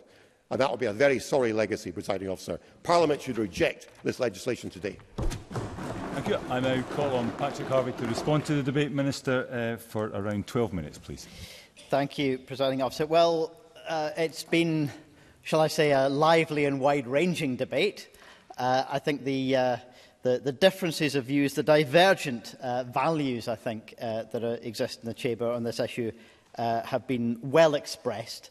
Uh, and uh, I think of the, those who have criticisms and concerns about this bill, some of them have been expressed very seriously, and I'll try to address them. Uh, some have been a little more on the silly side, uh, and in particular, I find it difficult to take seriously the accusation from the last speaker uh, that we're only doing this because we thought it was clever politics. This from the party that thought it was clever politics to abolish the top rate of taxation until they realised that everybody outside of Tufton Street was revolted by the values behind so, that kind of politics. So, no. I'm going to... All right. Murdo Fraser. I'm grateful to Mr Harvey for giving way. If, if, if the root cause of rising rents is a mismatch between supply and demand, why is he proposing a piece of legislation that will reduce supply? Minister. I, I don't accept the premise that it will, and I also don't accept that that is the only issue affecting rent rises. It's not the only one. There are also those landlords who are simply uh, raising rent to, I, I quote even one, to keep pace with the market. Uh, and that is, that is simply exploitation. Now, I want to address, presiding officer, first of all, some of the slightly more technical points that have been raised. In particular, uh, there are valid questions around uh, reporting uh, uh, duties on government and the decisions about how uh, uh, any discussion around possible extension of these uh, measures will be taken forward. Uh, the questions around whether there will be robust uh, planning uh, and, uh, and reporting? These are very fair questions, and I engaged, I, I'd like to make some progress. I, I engaged with the committee this morning and offered to remain engaged with them uh, on this point. Uh, but it's also uh, very clear under the terms of the bill that we had to review the operation of the bill every three months to consider whether, whether the provisions remain necessary and proportionate uh, we'll have to review whether the measures uh, for a rent freeze and eviction moratorium remain necessary and proportionate in light of the changing economic circumstances, and that will include considering the available evidence of the impact of the measures and how that changes over time. Uh, uh briefly, please. Miles Briggs. Thank the Minister. Uh, can the Minister outline how the figure of 3% was arrived at for the maximum increase for rents agreed by the adjudicator? Minister. Uh, well, that figure is not an absolute, of course. The provision does exist within uh, the, the bill for the government to come forward with a change of that, and we'll look at that in light of changing circumstances. There have also been a number uh, of calls throughout the debate for the government to spend more money on all aspects of housing. Uh, absolutely, I understand. If we were able to throw money uh, at direct uh, tenant support, uh, more than we have done already, at social housing provision, more than we have done already, already at uh, retrofitting more than we have done uh, already, or indeed at the cost of uh, the running the tribunal and the wider cost of living measures that Pam Duncan Glancy mentioned. I think we have a strong track record of prioritising these things, but we also have to say we don't yet know what scale of brutal cuts are coming down the line from the UK government. Uh, and so the emergency budget review, the, I, I'm going to have to make some progress. The emergency budget review will have to consider all of these. Uh, several members have mentioned the purpose and necessity for this measure, and I welcome the comments from Mark Griffin uh, from the, Labour benches, recognising that thousands of pe people are being pushed to the brink, a crisis indeed made worse by the UK Uh, government. And uh, Eleanor Whittam uh, spoke of a clear and present danger from the current cost crisis, uh, and again recognising that some of that lies uh, at the, the, the, the hands of the, the Chancellor over the last couple of weeks. The measures in this bill do provide direct protection in terms of rent, but they do more than that. They also provide a sense of security uh, a good reason to uh, ensure that all tenants in all sectors uh, do have equal protection, at least for these first six months, is to ensure that everybody has that, that sense of security. And e-, Emma Roddick spoke about the direct connection between a secure sense of, of being secure in one's home uh, and the impacts uh, on mental health. I'd like to emphasise just briefly a couple of points that didn't come out very much during the debate, and I hope that we'll discuss them later in the week. The measures on penalties for unlawful evictions and the powers for uh, changes to rent adjudication will be very, very important in how these measures are implemented, uh, and I hope that we'll, uh, we'll have further discussion of that later in the week. Now, very clearly, uh, for some people in the chamber, uh, the provisions uh, signal the end of uh, of private renting or some sort of imagined hostility that we have to the, to the rental sector. For others in the chamber, the measures don't go far enough. Uh, I, I have to th say that I, I think Richard Leonard's suggestion that this bill does nothing to strengthen tenants' rights, uh, I'm afraid, is, is frankly uh, absurd uh, it's, it's very clear that, uh, that some members think none of this sh should be done at all, and others uh, are still demanding the impossible. Mr. Mr. Mr. Leonard uh, asked why we're not placing the onus on landlords. That's exactly what this bill does. Landlords will be the ones who have the opportunity to apply for a limited, prescribed set of costs to be taken into account within clear limits. Uh, and uh, I think I had a uh, call for an intervention. Richard Leonard does the minister not accept, and he's the minister for tenants' rights, and we've heard an awful lot this afternoon about the defence of landlords' rights, but does he not accept that the argument that we are making is that not that these should simply be temporary changes to the balance of power between tenants and landlords, there should be permanent changes to the balance of power between tenants and landlords? Minister. I, I do, and that's why the government has a long-term programme of, of reform uh, under the New Deal for tenants that we consulted on and that will be working on permanent legislation. But he's well aware that temporary emergency legislation needs to be justified as proportionate in relation uh, to the immediate circumstances. That, indeed, is what we are doing. To, to move on, presiding officer, A great many members spoke about the potential impact, as they see it, on the social rented sector, and that's extremely important to the government. Miles Briggs and Mark Griffin, from different perspectives on this debate, uh, shared some of the concerns on that, and some of these concerns are very legitimate. Uh, some suggested that this measure has already had an impact on the rental income of RSLs. That is not the case. Uh, it will have no direct impact uh, on the rental income of RSLs during that first six months. Uh, no, indeed, how about the UK government having an immediate impact on, on RSL's cost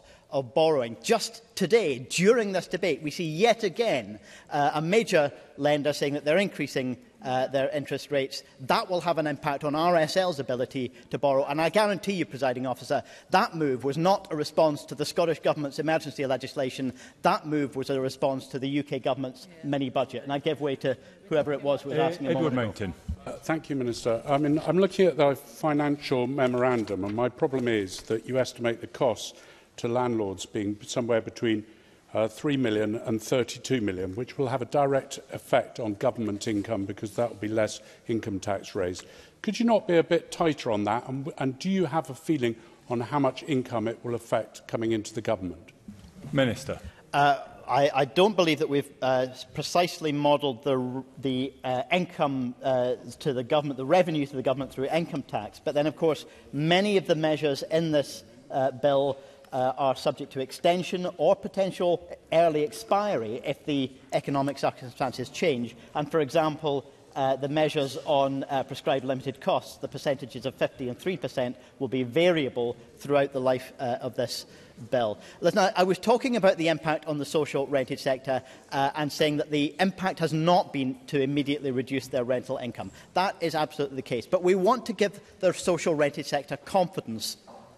that the long-term impacts will be taken into account and that we share their priorities uh, about their, their fundamental purposes. Social landlords are uh, exist for a social purpose and they invest not only in quality of affordable uh, rental uh, housing, uh, but on retrofit, the net zero agenda, the wide range of other services.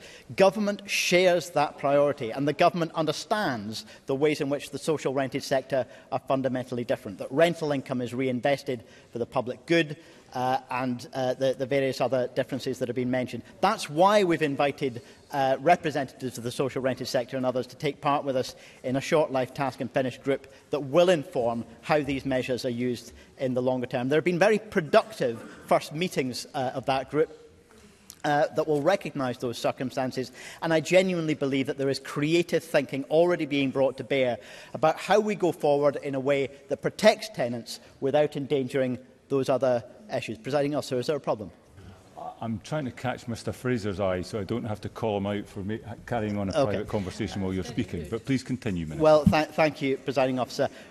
Um, RSLs are not-for-profit bodies. They exist for social need uh, and we share their priority to pro to protect uh, those uh, public investments. I want to move on briefly and talk about the, uh, the private rented sector there have been some claims, I, I'm not sure that they're uh, really justified claims about a direct impact on supply here. Over the long term, over the years, there has been an improvement in the quality of regulation uh, of the private rented sector, and at the same time, the sector has continued to expand.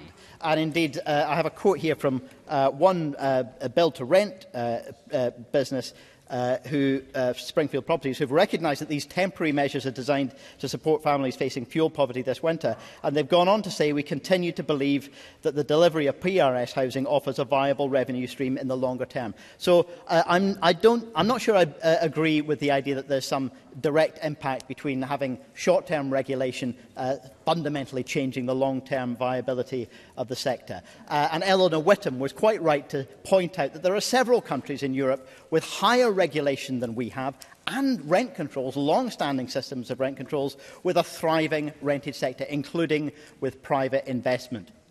I think in many ways there's an analogy here with the, the scaremongering that was brought in when people first debated uh, a minimum wage. Some of those arguments uh, clearly were, were born out of self-interest and didn't come to pass, and I think in many ways the arguments around rent controls are similar. But there is a wider question here, presiding officer. If we don't do this, if we don't accept the responsibility uh, to control some of the eye-watering rent increases that some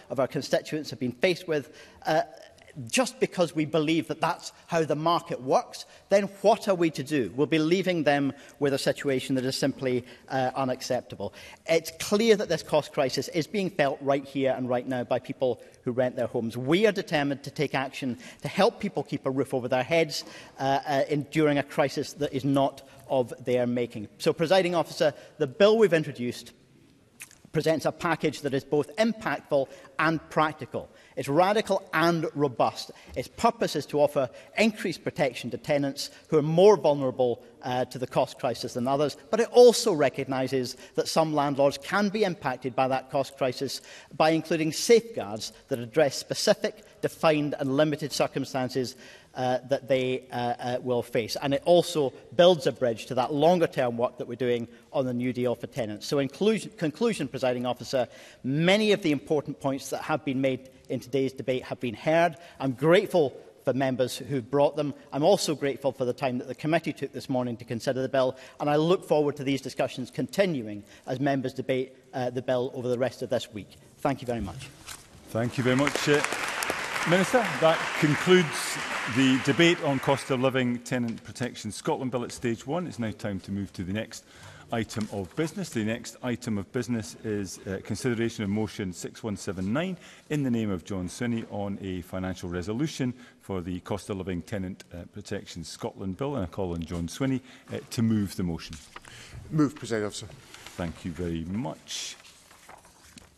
Um, the question is that motion 6178 in the name of Patrick Harvey on cost of living, tenant protection Scotland bill at stage one is agreed. Are we all agreed? Yes. The Parliament is not agreed, therefore we'll move to a vote. Um, there will be a short suspension to allow members uh, uh, to access the digital voting system.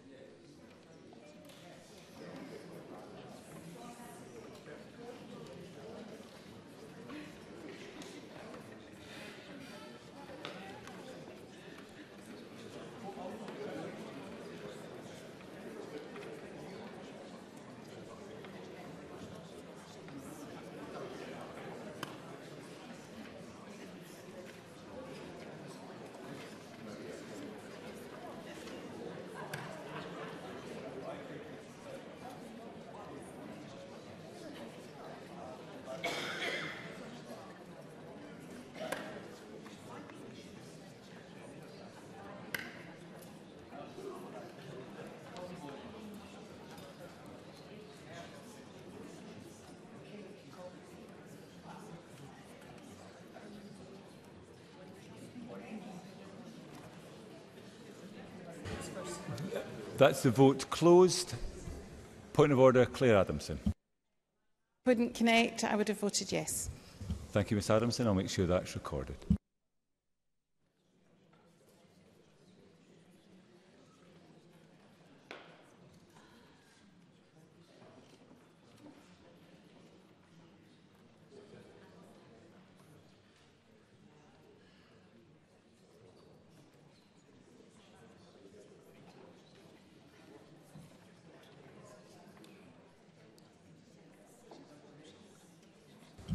The result of the vote on motion 6178 in the name of Patrick Harvey is yes 88, no 29. There were no abstentions. Uh, the motion is therefore agreed. The next question is that motion 6179 in the name of John Swinney on financial resolution, cost of living, tenant protection, Scotland Bill be agreed. Are we all agreed? Yes. We are all agreed. Um, there, we now move to the next item of business which is a statement by Hamza Youssef on the health and care recovery and winter planning. The Cabinet Secretary Members who are leaving the chamber should do so as quickly and quietly as possible.